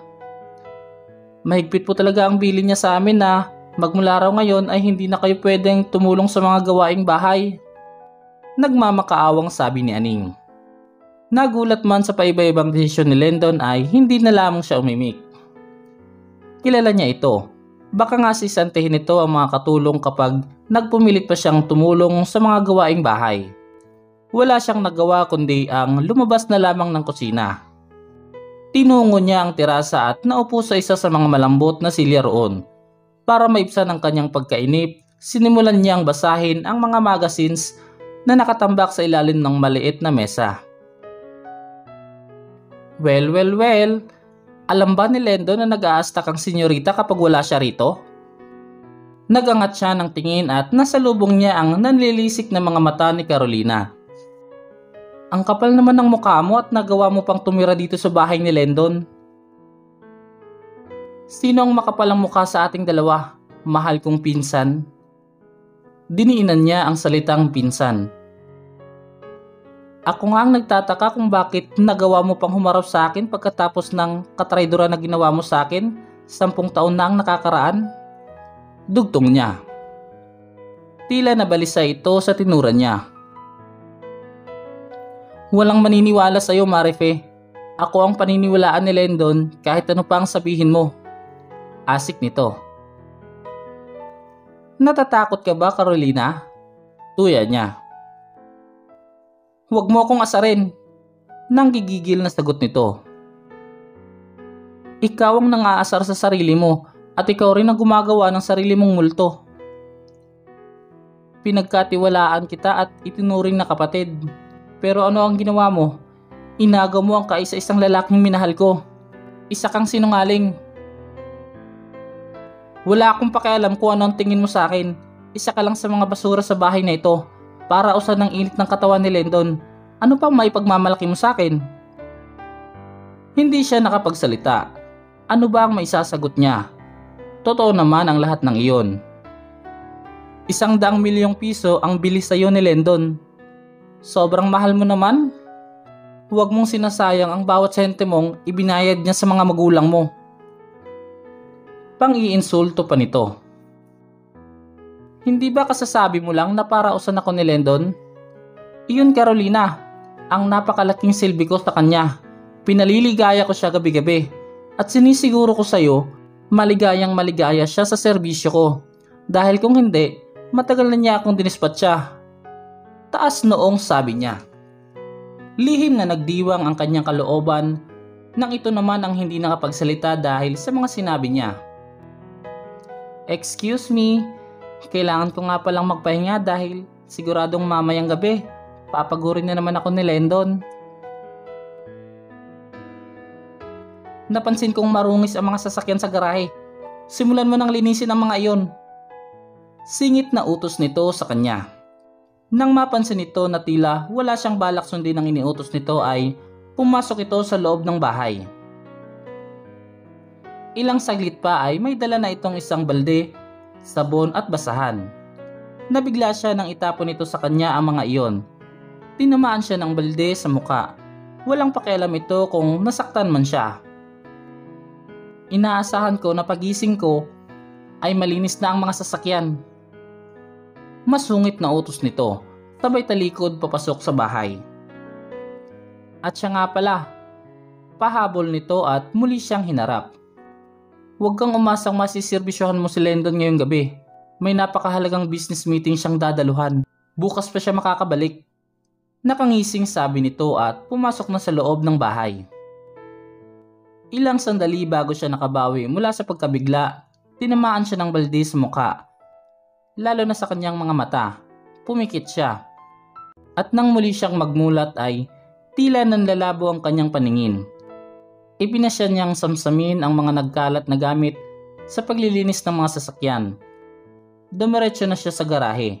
Kahit masakit ang mga mata ay sinunod na lamang niya ang utos ni Carolina. Pagod na siya sa gulo. Ayaw na muna niyang makipag-away.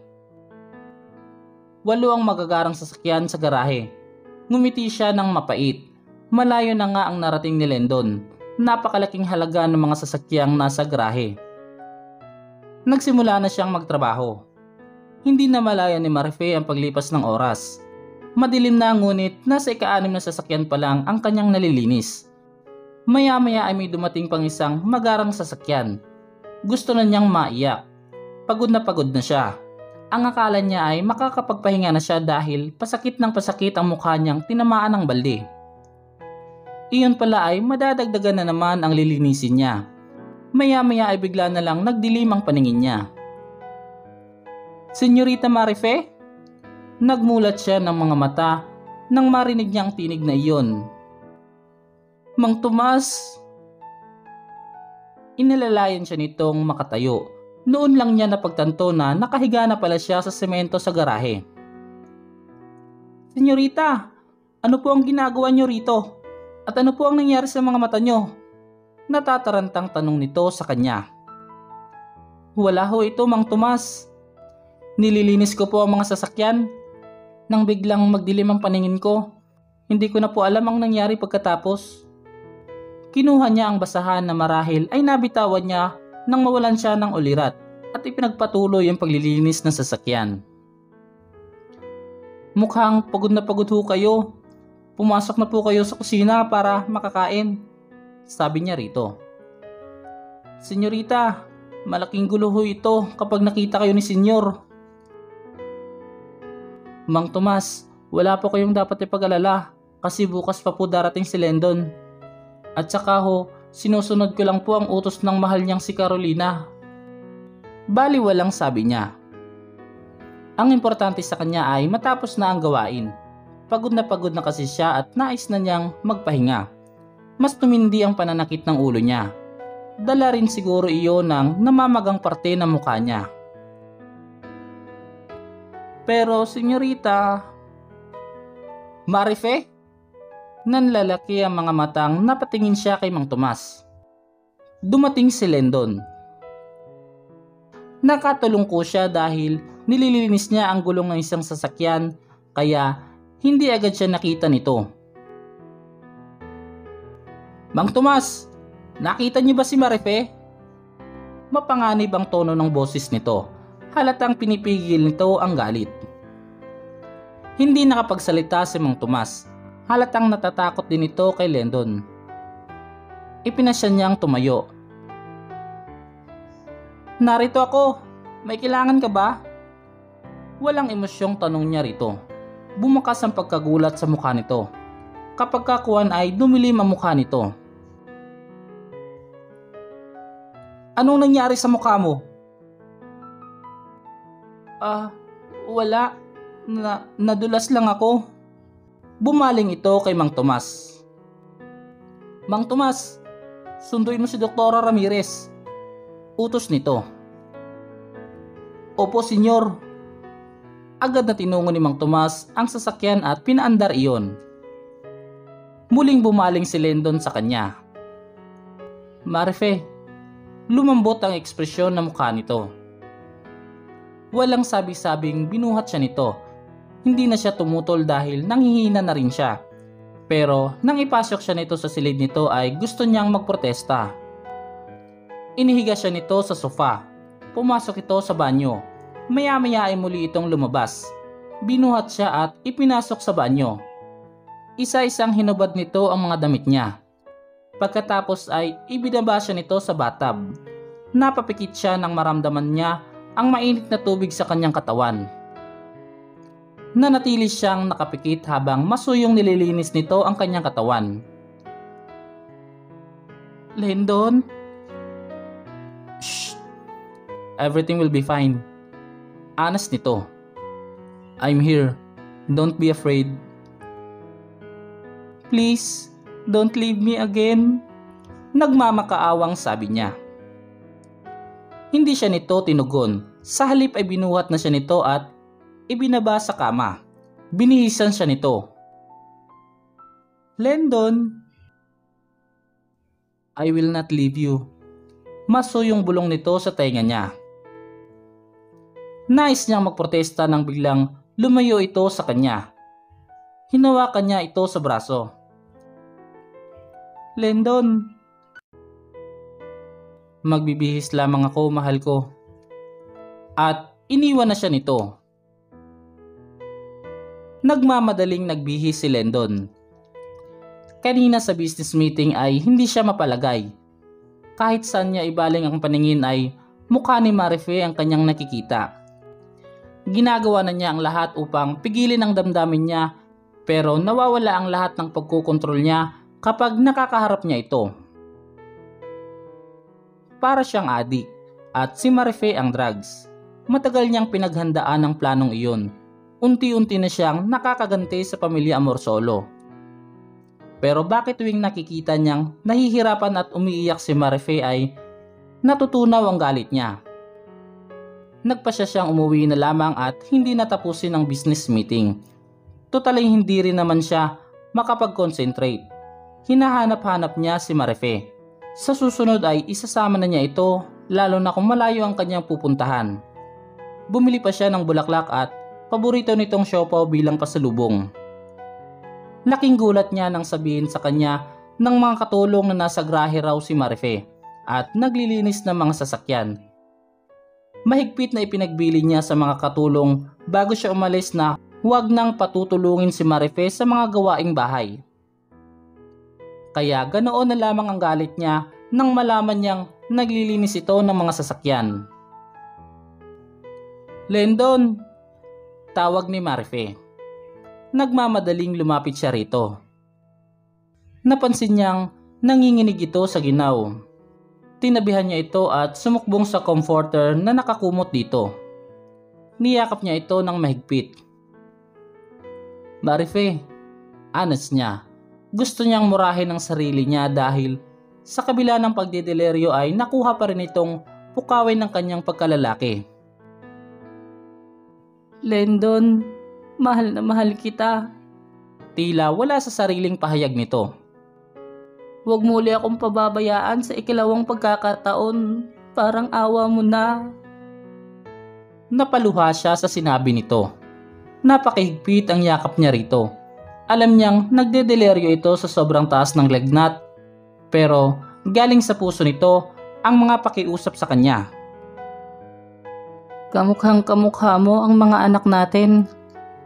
Tila niyanig siya sa narinig na pag-amin nito. Bumangon siya ng bahagya upang mapagmasdan ito.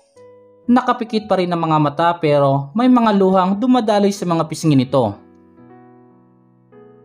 Niloko mo ako. Kayo ni Carolina. Hinintay kita sa simbahan pero hindi ka dumating. Umiiyak na ito. Niyakap niya ito ng mahigpit. Marife, naguguluhan ako sa mga sinasabi mo. Hindi mo tinupad ang pangako mo sa akin. Minahal kita pero iniwan mo ako sa mga sandaling kailangan-kailangan kita. Niloko mo ako. Sinungaling ka. Marife, hindi ko alam. Hindi kita maintindihan. Nahihirapang pag-aalo niya rito. Pero bakit mahal pa rin kita? Mahal na mahal. Mahinang pag-amin nito bago tuluyang nawala ng malay. Kumusta na siya, Dok? Nag-aalalang tanong ni Lendon. Over fatigue at gutom ang dahilan ng pagkakasakit niya. Sagot ni Dr. Ramirez. Hindi siya nakaimik. Ipainom mo ang gamot na ito sa kanya. Narito ang reseta. I suggest that she gets a complete rest for at least one week para makabawi siya ng lakas. With regards to her browies and black eye, bibigyan ko siya ng antibiotic para hindi ma-infection ng mga mata niya. Salamat, Dok. Ipapahatid ko na kayo kay Tomas. Nang makaalis si Dr. Ramirez ay matama niyang pinagmasdan si Marife na himbing na himbing sa kanyang kama. Kahit paano ay bumaba na ang lagnat nito. Kailanman ay hindi kita niloko, Marife. Ikaw ang buhay ko noon. Ikaw ang nang iwan at hindi ako. Aniya. Pero bakit mo ako pinagbibintangan? Hindi kita maintindihan. Napaisip siya ng malalim. May dapat ba siyang malaman? Ipinatawag ni Lendo ng lahat ng katulong. Sino ang nag-utos kay Marife na maglinis siya ng mga sasakyan sa garahe? Dumadagongdong ang tinig na si Tanya sa mga ito. Lendon, what is so important about that woman? Kung naglinis man siya ng mga sasakyan, obligasyon niya yon. Shut up, Carolina. Hindi ko hinihingi ang opinion mo. Tila napahiya naman ito na natiling nakatayo na lamang ito sa isang gilid. Halatang nagngingit-ngit ang kalooban nito. Wala bang magsasalita sa inyo? Kung ganoon, magbalot-balot na kayong lahat dahil sisisantihin ko na kayo. Senyor! Biglang sambit ni Aning. Tiningnan niya ng matalim ang dalagita. Inutusan po ni Senyorita Carolina si Ate Marife na maglinis ng mga sasakyan. Nang ayaw pong tumalima ni ate, ay binato po ni Senyorita Carolina ang balde at tinamaan po sa mukha si Ate Marife. Bumalik na kayo sa mga gawain nyo. Utos niya sa mga katulong. Parang isang taong nagsialisa ng mga ito sa harap niya. Pagkatapos ay galit na binalingan niya si Carolina. Hindi ba't kabilin-bilinan ko na wag mong kakantihin si Marife? Sinuway mo ko, Carolina. Pero, ano ang silbi niya sa mansyong ito, Lendon? Wala ka ni isang karapatang magtanong, Carolina. Kung ayaw mong magpasakop, bukas ang pintuan at maaari ka nang umalis. Bakas ang hindi pagkapaniwala sa mukha nito. Tumalikod na ito at naglakad paalis. Sinundan niya ito ng tingin habang papakyat ito sa hagdan. Magaling na pala ang pinakamamahal na parausan ni Lendon. Taas noong hinarap ni Marife si Carolina. Salamat sa magaling na pag-aalaga ni Lendon. May pagmamalaking sagot niya.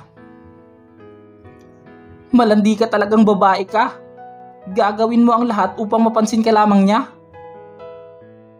Salamat sa papuri mo, Carolina. Dapat siguro ay mag-practice ka pa kasi mukhang ayaw nang humiwalay sa akin ni Lendon. Kawawa ka naman kapag nagkataon. Ikaw ang kawawa dahil isa ka lamang dakilang parausan. Hanggang kailan ka kaya tatagal? Hindi ko iniisip yon. For the meantime, will you excuse me? Gusto kong magpahinga dahil siguradong mapapagod na naman ako mamayang gabi. Pang-aasar niya rito. See? Tama na para usang ka nga lang. Hindi ka ba iniimbitahan ni Lendon? May isang malaking salo-salo ka na Don Joaquin at ako ang kasama niya mamayang gabi. May pagmamalaking sabi nito. Nasaktan siya sa nalaman pero hindi niya ipinahalata iyon dito. Walang anuman iyon sa akin Carolina magpakasaya kayo sa party. Ako naman maghihintay lamang sa silid ko. Wala akong naalalang gabi na hindi niya ako sinipingan kapag naririto siya sa mansyon. Araw man, gabi o mag-uumaga. Nginitian niya ito. So Carolina, enjoy the party this evening. Gawin mo ang lahat para hindi niya ako masipingan. Mamaya kasi siguradong mamamatay ka sa inggit. Bitch! Galit na sigaw nito sa kanya. Minabuti niyang iwan na lamang ito para wag nang humaba ang away nila. Ipinasya ni Marife na wag lumabas ng kanyang silid pagsapit ng gabi. Nagsiselo siya kay Carolina at labis siyang nasasaktan sa kalamang kasama ito ni Lendon sa pagtitipon. Tumunog ang cellphone niya. Napakunot noo siya nang mabasa niya sa screen ang pangalan ng tumatawag. Yes? Pumunta ka rito sa silid ko. Sagot nito at nawala na ito sa kabilang linya. Wala siyang nagawa kundi ang lumipat sa silid nito. Kalalabas pa lamang ni Lendo ng banyo. Bagong paligo ito at nakatapi lamang ng tuwalya sa bewang. Iniiwas niya ang mga mata rito. Biglang uminit ang kanyang pakiramdam. Bakit? Tanong niya. May pupuntahan ako ngayong gabi. Ipili mo ako ng damit na isusuot. Sagot nito na titig na titig sa kanya. Tumaba ang kanyang puso. Kahit paano ay nabawasan ang hinanakit niya rito. Masaya siyang pagsilbihan ang lalaking minamahal niya. Tinungo niya ang walk-in closet. Anong okasyon? Kaswal ba o formal? Tanong niya. Nagulat siya nang yumakap ito mula sa likuran niya at ibinulong sa kanyang tenga ang sagot. Formal. Nanunodyo ang dila nito sa kanyang tenga. Lendon, daing niya. Kapag ganoong naglalambing ito ay nalilimutan niyang Senyor Lendon pala ang dapat niyang itawag dito. Iniharap siya nito rito at tila uhaw na hinalikan siya nito sa mga labi. I want you now. Anas nito. May pupuntahan kang party. Paalala niya rito. Let them wait, but I damn can't. Binuhat siya nito at inhiga sa isa sa mga sofa roon. Maraming bisita sa hardin ni Don Joaquin. Bawat bisitang madaanan ni Lendon ay napapatigil at bumabati sa kanya taas noong nakakapit sa braso niya si Carolina.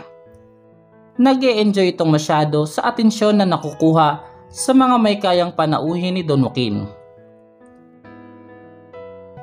Maligayang kaarawan Don Joaquin.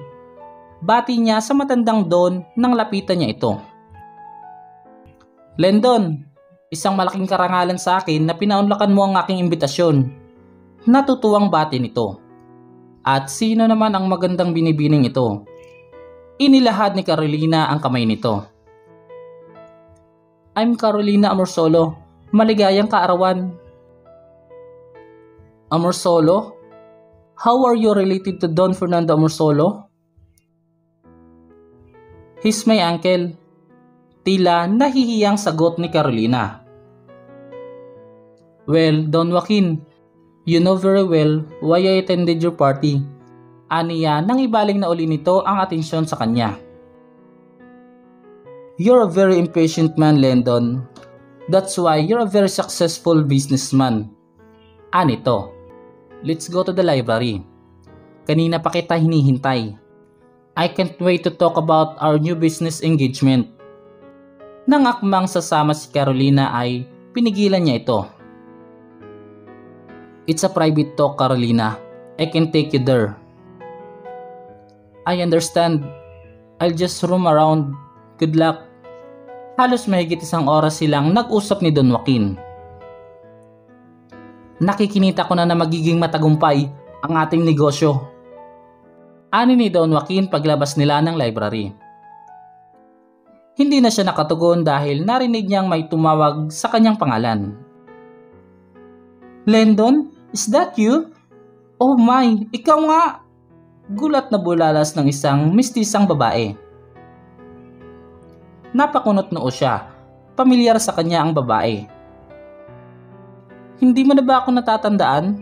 Ay Mabigel, Murphy's friend. Pakilala nito sa sarili. Oh, hi! Pasensya na. Now I know why look familiar. Inabot niya ang nakalahad na kamay nito at kinamayan ito. Abigail is my daughter-in-law, sabi ni Don Joaquin. Tumango lang siya. Wow, I can't believe it. I heard good things about you. Hindi nga nagkamali si Marife na sumama sa'yo. Sabi ni Abigail. Pardon? Nawala ang kanyang ngiti sa sinabi ni Abigail. Ang tinutukoy ba nito ay ang pagbabayad ng utang ni Marife sa sarili sa kanya? Oh, come on. Nakalipas na iyon at napakaganda ng naging resulta ng pagtatana ninyo. Hindi iyon dapat ikahiya. I don't understand. Nalilitong pakli niya. Remember the night Don Fernando announced Marife engagement to Pablo? I was one of the guests. I witnessed how Marife react to that announcement. Halatang nabigla siya. Galit na galit siya. Inawat nga namin siya dahil halos mag-hysteria na siya sa sobrang galit at sama ng loob. Then, at around 2 a.m., I saw Marifi walking at the street alone. May mga dalang bags. Pinasakay ko siya sa sasakyan ko at doon niya inamin na magtatanan kayo. Magkikita raw kayo sa may simbahan ng alas 3. Hindi siya makapagsalita sa mga ikinuwento nito. Pigil niya ang kanyang hininga habang nakikinig dito. Bilib ako kay Carolina dahil ang lakas ng loob niyang maging tagahatid ng mga sulat niyo sa isa't isa. Si Carolina? Hindi makapaniwalang tanong niya. Ang sabi kasi sa akin ni Marife nung gabing iyon, sabi mo raw kay Carolina ay hihintayin mo siya sa may simbahan at magtatanan kayo. Anito. Lendon, is there something wrong? Nag-aalalang tanong nito. Marahil ay nahalata nito ang pagkalito sa kanyang mukha. Nothing, napagod lang siguro ako. I'm sorry, naging madaldal ako. It's alright. I really appreciate your story. Marifer really loves you, Lendon. Nakita ko yun sa mga mata niya. Handa raw siyang sumama sa'yo kahit saan at ipagpalit ang lahat ng yaman na mayroon ng pamilya niya, makasama ka lang. She said that? Oo naman no. Ang bilis mo naman kasi nagkaroon kaagad ng deposito. Kambal pa. Hinampas pa nito ang braso niya. Tila, kinapos siya ng hininga sa mga natuklasan. Huwag ka nang mahiya. Marife told me that she was pregnant. Kambal daw ang magiging babies nyo. Ang bilis mo ha? Paano mo nalusutan si Don Fernando? Hindi siya makapagsalita. Abigail, I think you're already embarrassed, Lendon. Puna ni Don Joaquin. Not at all, Don Joaquin. I love my wife so much, as well as my twins. Pagkikisakay niya sa mga sinabi ni Abigail. At hindi nagkamali si Marife sa naging desisyon niya You must also thank Carolina. Siya ang naging tagahatid nyo ng sulat. Kung hindi dahil sa kanya, hindi kayo magkakaroon ng pagkakataong makapagtanan. Biro ni Abigail. I will remember that, Abigail. Thank you for a very enlightening evening. I hope I can meet your wife too, Lendon. Ani ni Don Joaquin. I'm sorry kung napagkamalan kong nobya mo sa Senyorita Carolina kanina. Don't mind it, Don Joaquin. My wife is at home. Kaya nga ako nagmamadaling umuwi dahil alam kong naghihintay siya sa akin. Nakangiting sabi niya. Somehow may bahid ng katotohanan ang mga sinabi niya. Say my regards to Marife. One day bibistahin ko siya sa bahay niyo. Ani ni Abigail.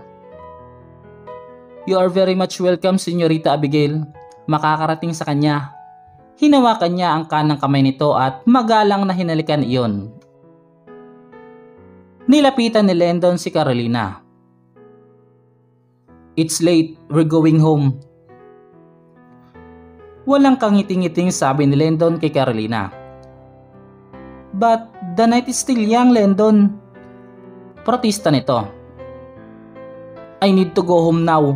It's alright with me if you still want to stay. Inis na napaismi dito, ngunit hindi niya pinansin ito. Kailangan na niyang umuwi. Naghihintay na si Marife sa kanya. No, I will go home na rin. Isang pilyang ngiti ang naglalaro sa mga labi nito. Halos madapa si Carolina sa paglakad upang makasabay sa mabilis na mga hakbang niya habang patungo sila sa sasakyan. Sa loob ng sasakyan ay tahimik lang siya. Malalim ang kanyang iniisip. Kaya ka ba nagmamadali ay dahil naghihintay si Marife sa kwarto mo? Napakagaling naman niyang parausan. Dinakma niya ang liig ni Carolina. Lendon! Gulat na gulat ito. I want the truth, Carolina. The truth. Alam niyang lumalabas na ang mga ugat niya sa liig dahil sa tindi ng galit. Nasaan ang mga sulat ni Marife sa akin noon, Carolina? Anong sulat? Nanlalaki ang matang tanong nito.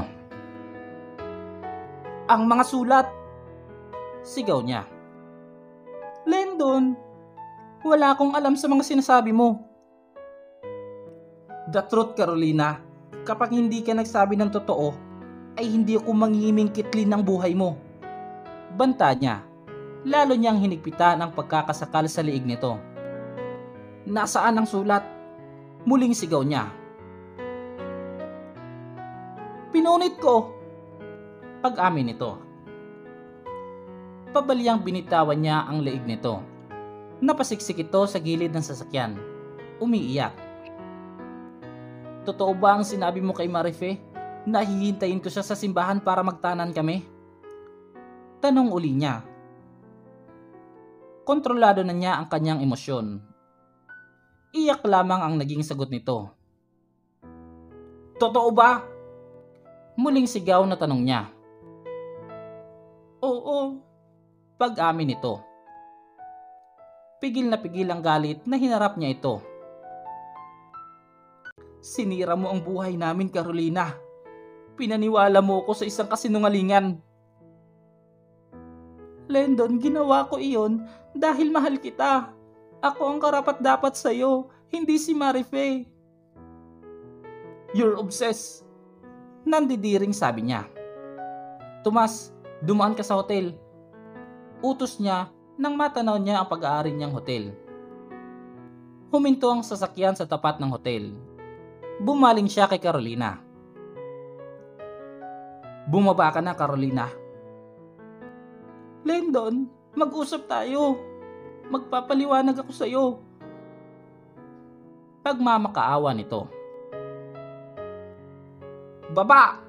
Kung ayaw mong ipagtulakan kita pababa ng sasakyan, pagkatapos ng lahat, hindi na kita matatanggap sa buhay ko. Pinal na sabi niya. Wala itong nagawa kundi ang bumaba ng sasakyan. Tila basang sisiyo na iniwan niya ito sa tapat ng hotel.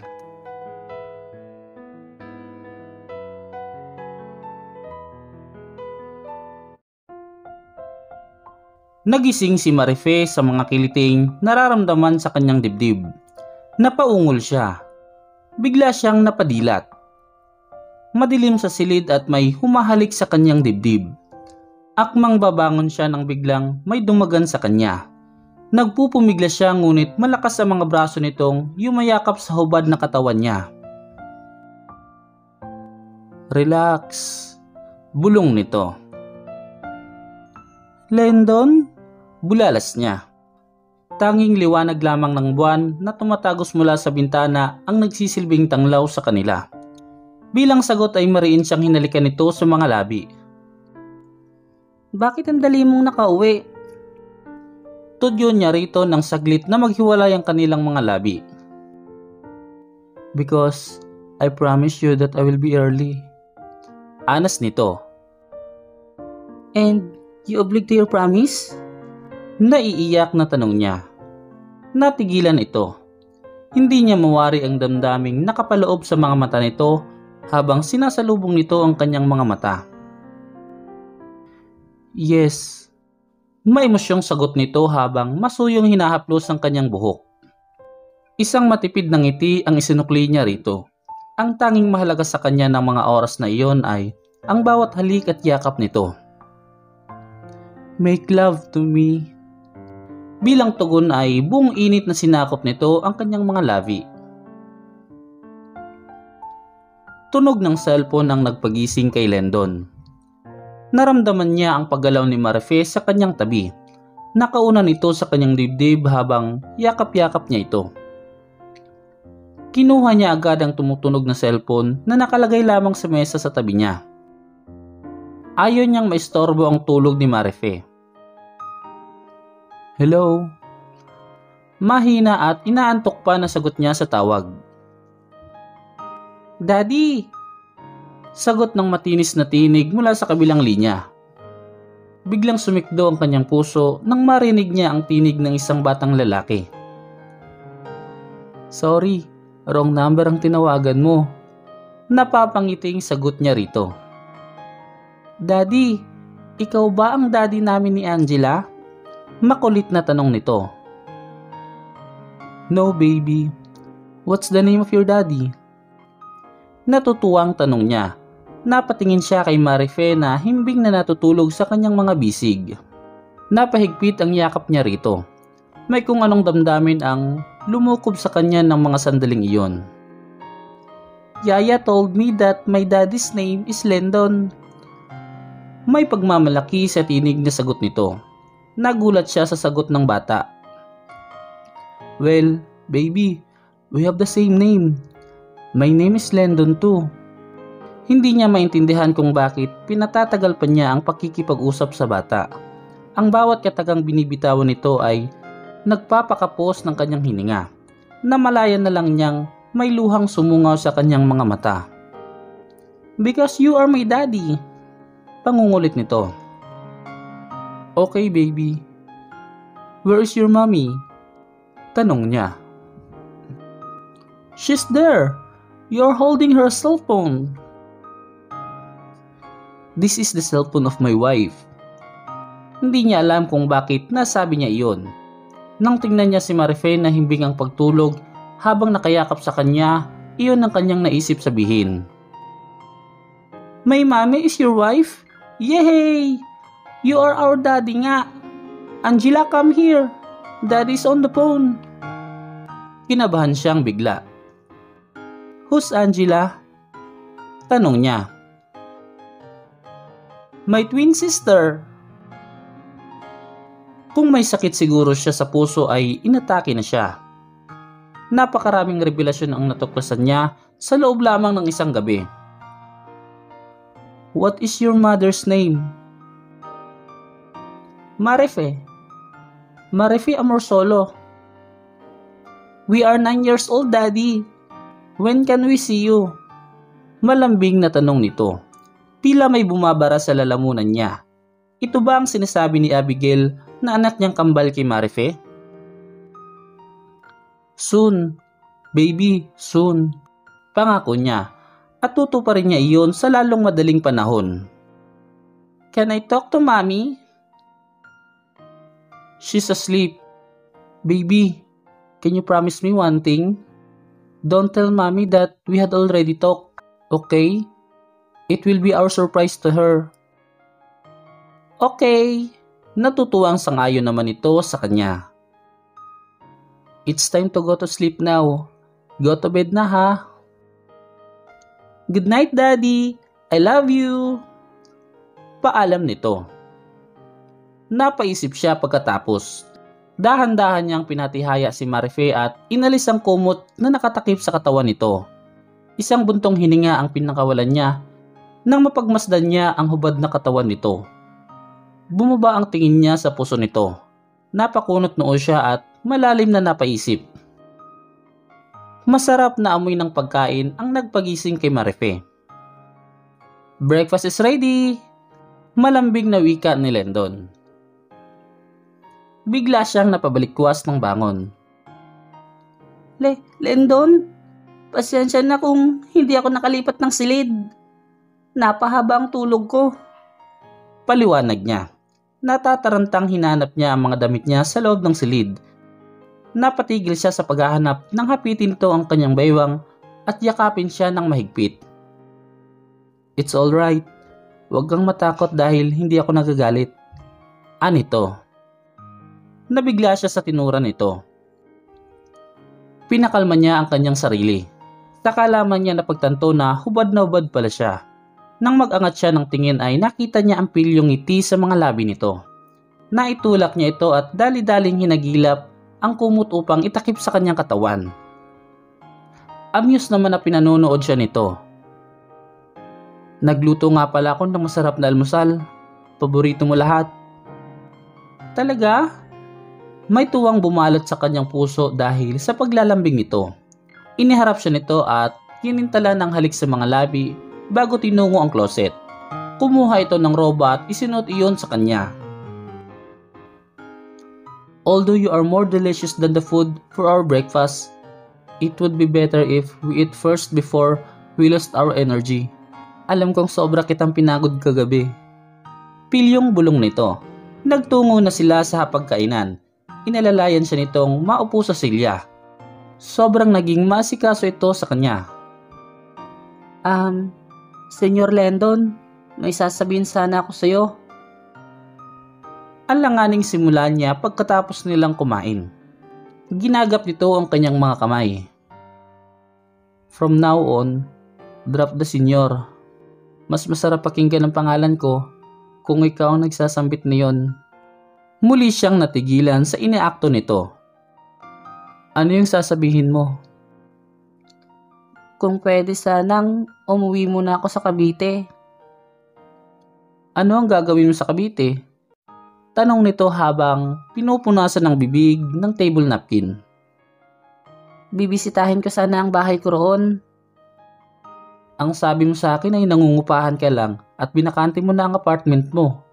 Tanong nito, titig na titig sa kanya.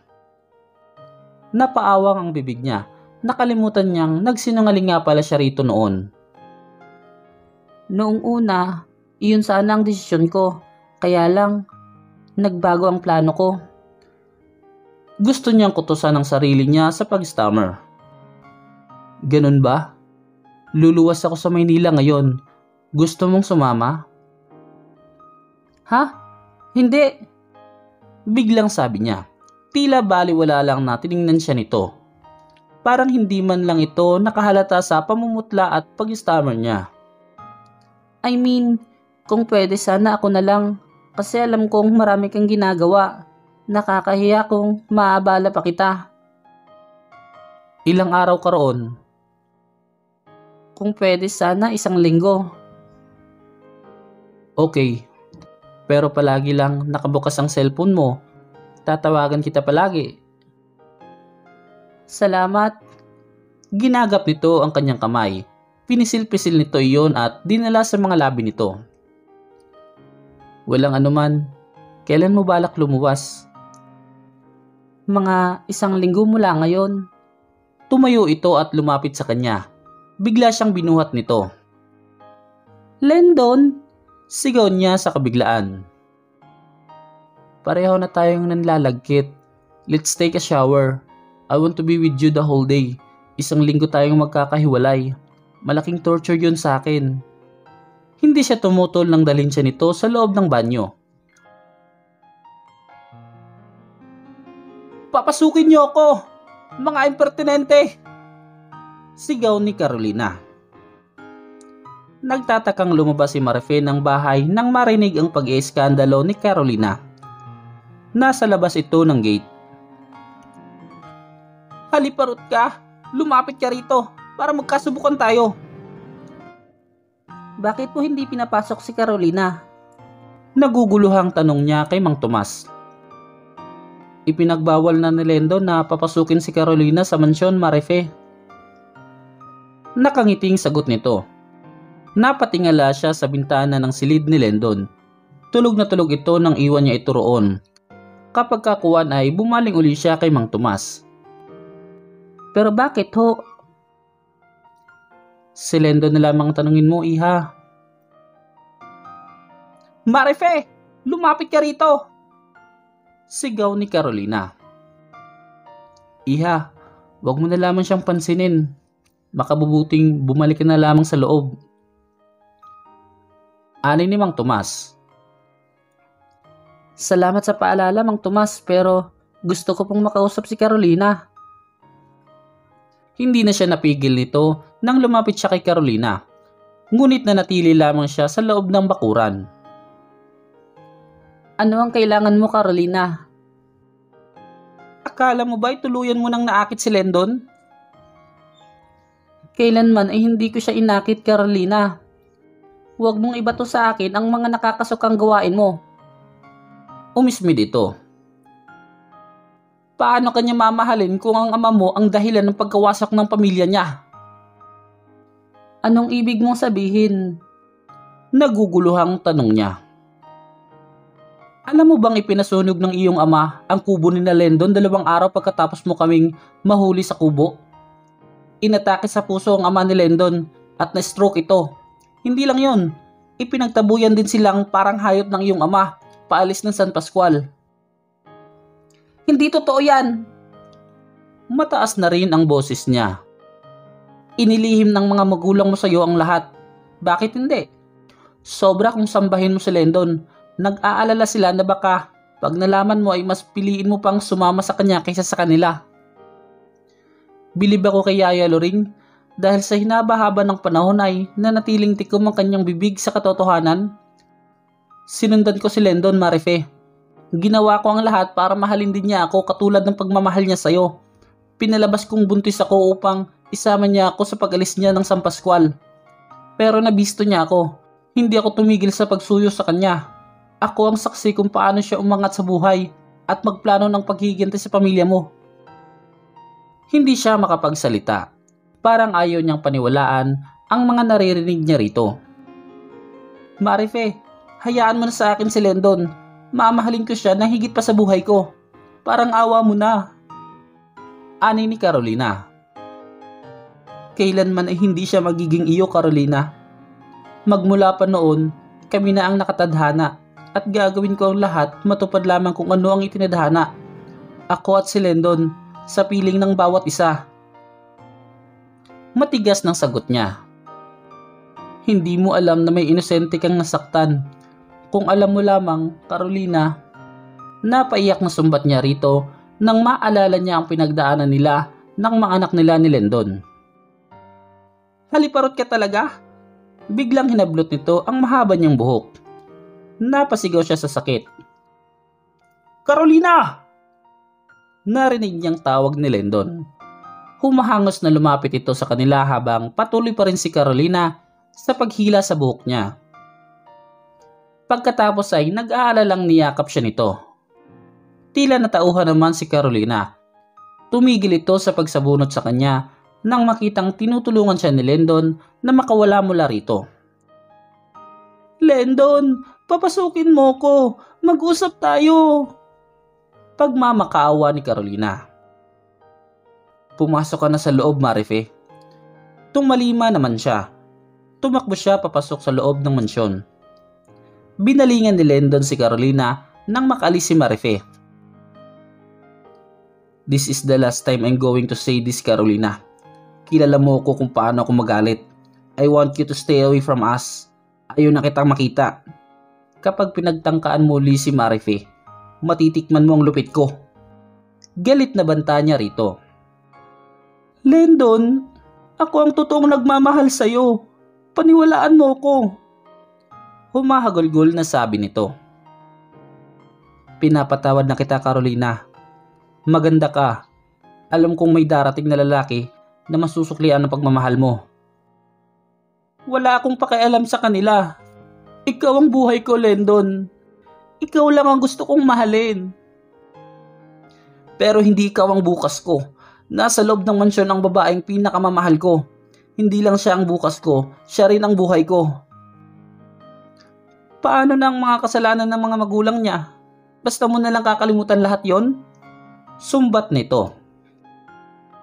Puso ko ang nagdiktang patawarin ko na sila. Pareho kaming biktima ni Marife ng mga pangyayari. Matagal na naghirap ang aming kalooban, pero sa bandang huli, kainin man kami ng galit at panibugho, mahal pa rin namin ang isa't isa. Lendon! Tanging sambit na lamang nito habang luhaan.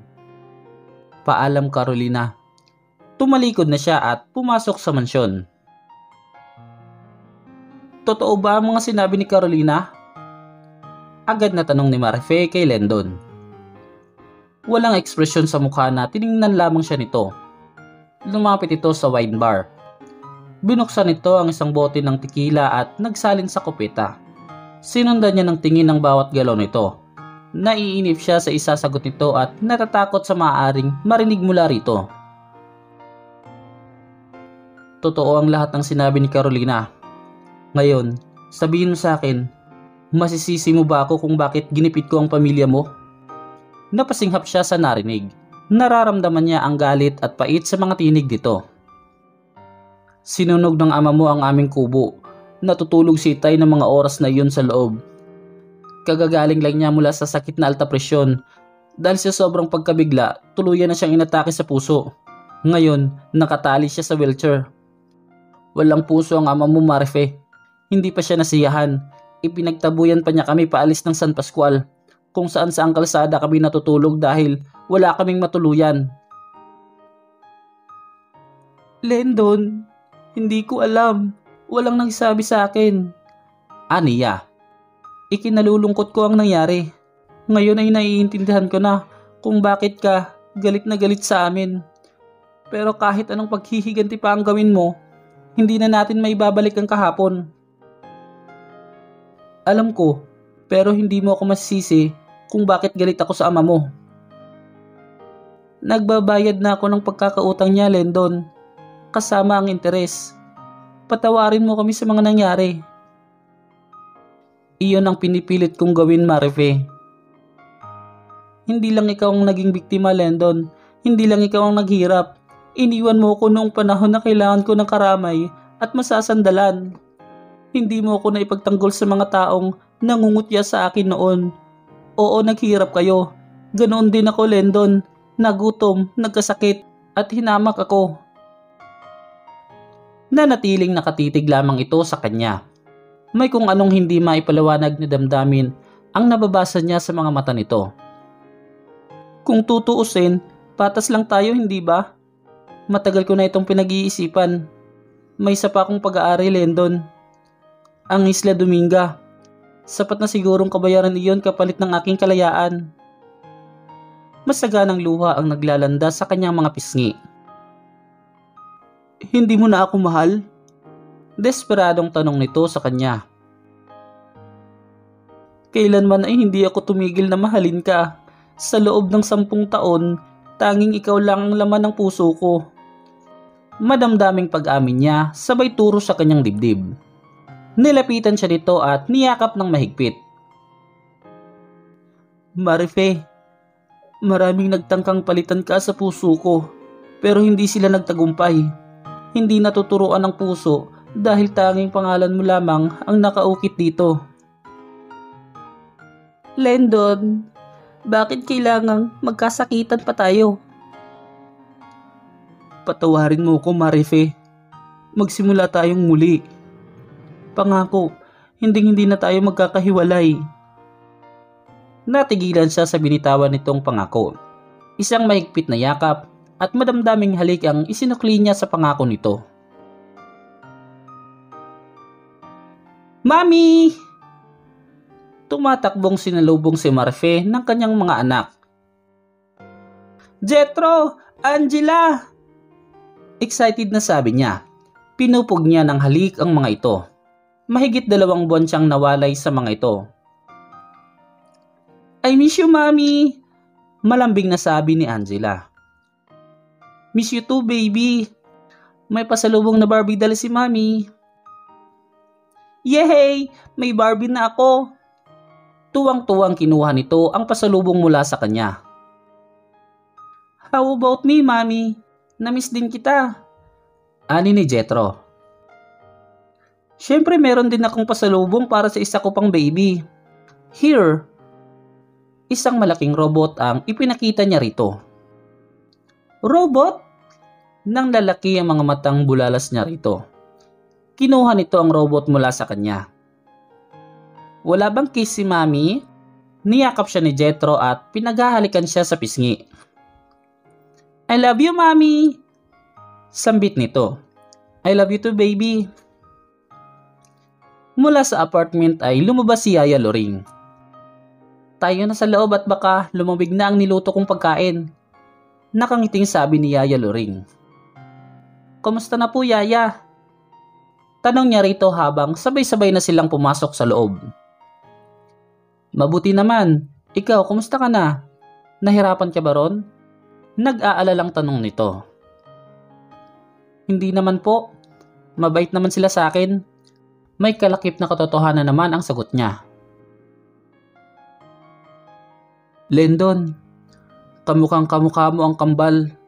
Komento ni Mang Tomas. Sabay silang lumuwas ni Marife paalis ng San Pascual, pero naghiwalay sila pagdating sa Maynila. Pero lingid sa kaalaman ni Marife, lihim na sinundan niya ito nang papunta na ito sa Cavite at ngayon niya ay nasa di kalayuan ng inuupahan nitong apartment nakaparada ang kanyang sasakyan. At nasaksihan niya ang pagsalubong ng dalawang bata kay Marife. Nagkaayos na sila ni Marife. Masaya silang nagsasama. Hinihintay niya na ito ang kusang magtapat sa kanya ng tungkol sa mga anak nila. Lingid sa kaalaman ni Marife ay palihim niyang tinatawagan ang mga anak nila araw-araw nasasabik at naiinip na siyang mayakap ang mga ito kaya sinundan niya si Marife. Anak ko nga sila, Tomas. May pagmamalaki sa tinig na sabi niya. Ano ang balak mo ngayon? Iuuwi ko ang mag-iina ko sa mansyon. Kung nasaan ako, doon din sila. Isang banyagang damdamin ang nararamdaman niya Itutuwid ko ang mga pagkakamali ko sampung taon na ang nakakaraan, Tomas. Nagdial siya sa cellphone. Masayang nagkukwentuhan si Marife at ang mga anak niya nang tumunog ang cellphone niya. Si Lendo nang tumatawag. Sandali lang mga baby. Paalam niya sa mga anak niya. May tawag lang si mami. Ayaw niyang marinig ng mga ito ang pag-uusap nila ni Lendon. Hello? Sagot niya. I miss you. Ganting sagot naman ito mula sa kabilang linya. Bolero, Napangiting sabi niya. Gusto kitang makita.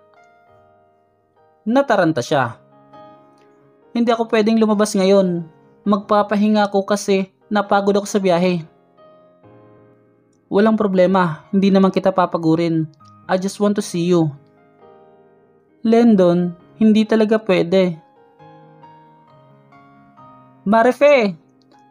Tawag sa kanya ni Yaya Loring. Sino ang kausap mo? Tinakpan niya ang cellphone. Yaya, si Lendon po ang kausap ko. Sagot niya. Si Lendon ang nasa telepono? Namumutlang tanong nito. Opo. Eh, Marefe, si Lendon. Nasa labas ng bahay. Napaawang ang bibig niya sa kabiglaan.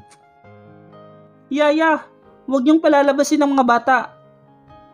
Utos niya.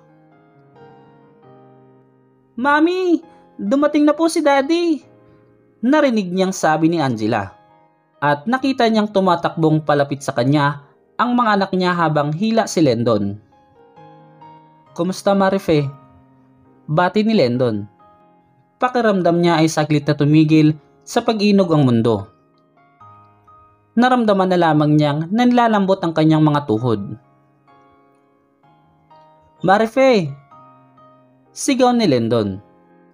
Maagap na inalalayan siya nito bago pa siya bumagsak sa sahig. Nang tingalain niya ito, Nakita niya ang pag-aalala sa mukha nito. Maya-maya ay nagdilim na ang lahat sa kanya. Pagmulat ni Marifin ng kanyang mga mata, ay ang mga anak agad niya ang naalala niya. Jetro? Angela? Tawag niya sa mga ito habang pilit na bumabangon kahit mabigat pa rin ang pakiramdam niya. Nasa ibaba sila Napasinghap siya nang mahagip ng tingin niya si Lendon.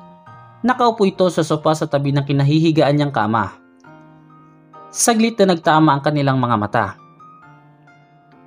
Siya ang unang nagbaba ng tingin na natiling wala silang imik. Tila walang nais magsalita sa kanilang dalawa. Umayo siya ng upo sa gilid ng kama. Nakilala mo na sila? Basag niya sa katahimikang bumalot sa kanila. Oo, hindi maikakaila na mga anak ko sila. Sarkastikong sagot nito. Walang ibang lalaki sa buhay ko, Lendon, kundi ikaw, kaya hindi ka dapat magduda sa pagiging ama mo sa mga anak ko. Asik niya rito. Ito pa ba ang may ganang magalit gayong ito ang nagpabaya? Hindi ako nagagalit, gusto ko lang magtanong. Tumaas ang boses nito. Huwag mo kong sisigawan, nasa bahay kita. Nagtaas din siya ng boses. Tumayo ito, napahawak ito sa batok. Akala ko ba ay maayos na sa atin ang lahat? Bakit itinatago mo sa akin ng mga anak ko? Napaka-importante ng bagay na ito sa atin, Marife. Dahil ayaw ko nang muling umasa sa mga pangako mo, Lendon. Natatakot akong muling mabigo Mahal kita Marife. Kung sakali man na hindi ko natupad ang mga pangako ko sa'yo, patawarin mo ako. Hindi ko sinasadya. Bakit hindi mo ipinaalam sa akin na buntis ka? Malumanay na tanong nito. Bakit ko ipapaalam sa'yo kung gayong ikaw ang tumalikod sa aming mag-iina? Hindi ito makapagsalita sa tinuran niya. Hinintay kita sa tapat ng simbahan, Lendon. Handa akong talikuran ng lahat ng meron ako para sa'yo. Nasasabi kitang hinintay at masabi sa'yo na magiging daddy ka na. Pero hindi ka dumating. Sa halik ng mga yakap at halik ng pagmamahal ang isalubong mo sa akin, isang kataksilan ang isinampal mo sa mukha ko. Kataksilan ninyo ni Carolina. Pero, sadya nga sigurong mahal kita. Sa kabila ng kataksilan ninyo ng pinsan ko, Umasa pa rin ako na hihingi ka sa akin ng tawad. Nasusuyuin mo ko at tutuparin mo ang iyong mga pangako na kailanman ay hindi mo ako pababayaan. Hindi na niya napigilan ang pag-alpas ng mga luha mula sa kanyang mga mata. Marife, umiwas siyang salubungin ang mga mata nito.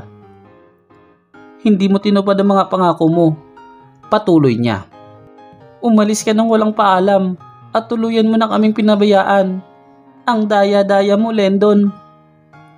Pinagkatiwalaan kita. Ang iyak niya ay nauwi sa hagulgol. I'm sorry.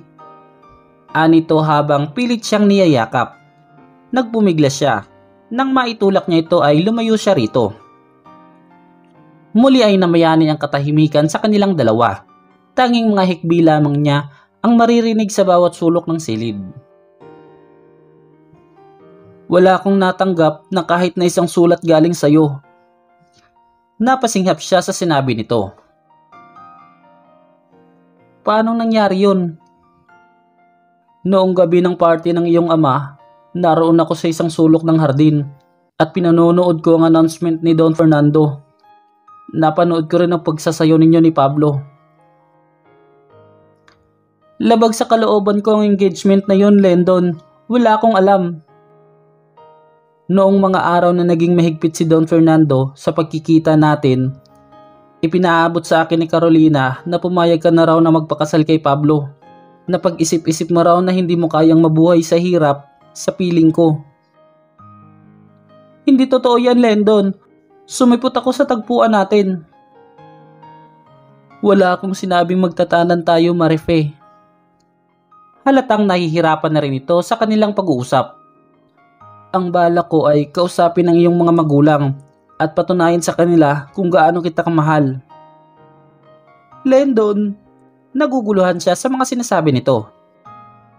Labis akong nasaktan nang mapanood ko ang engagement ninyo ni Pablo. Kinain ako ng panibugho. Bumili ako ng maraming alak at uminom sa aking kubo hanggang sa hindi na ako makabangon sa kalasingan. Nakatulog ako.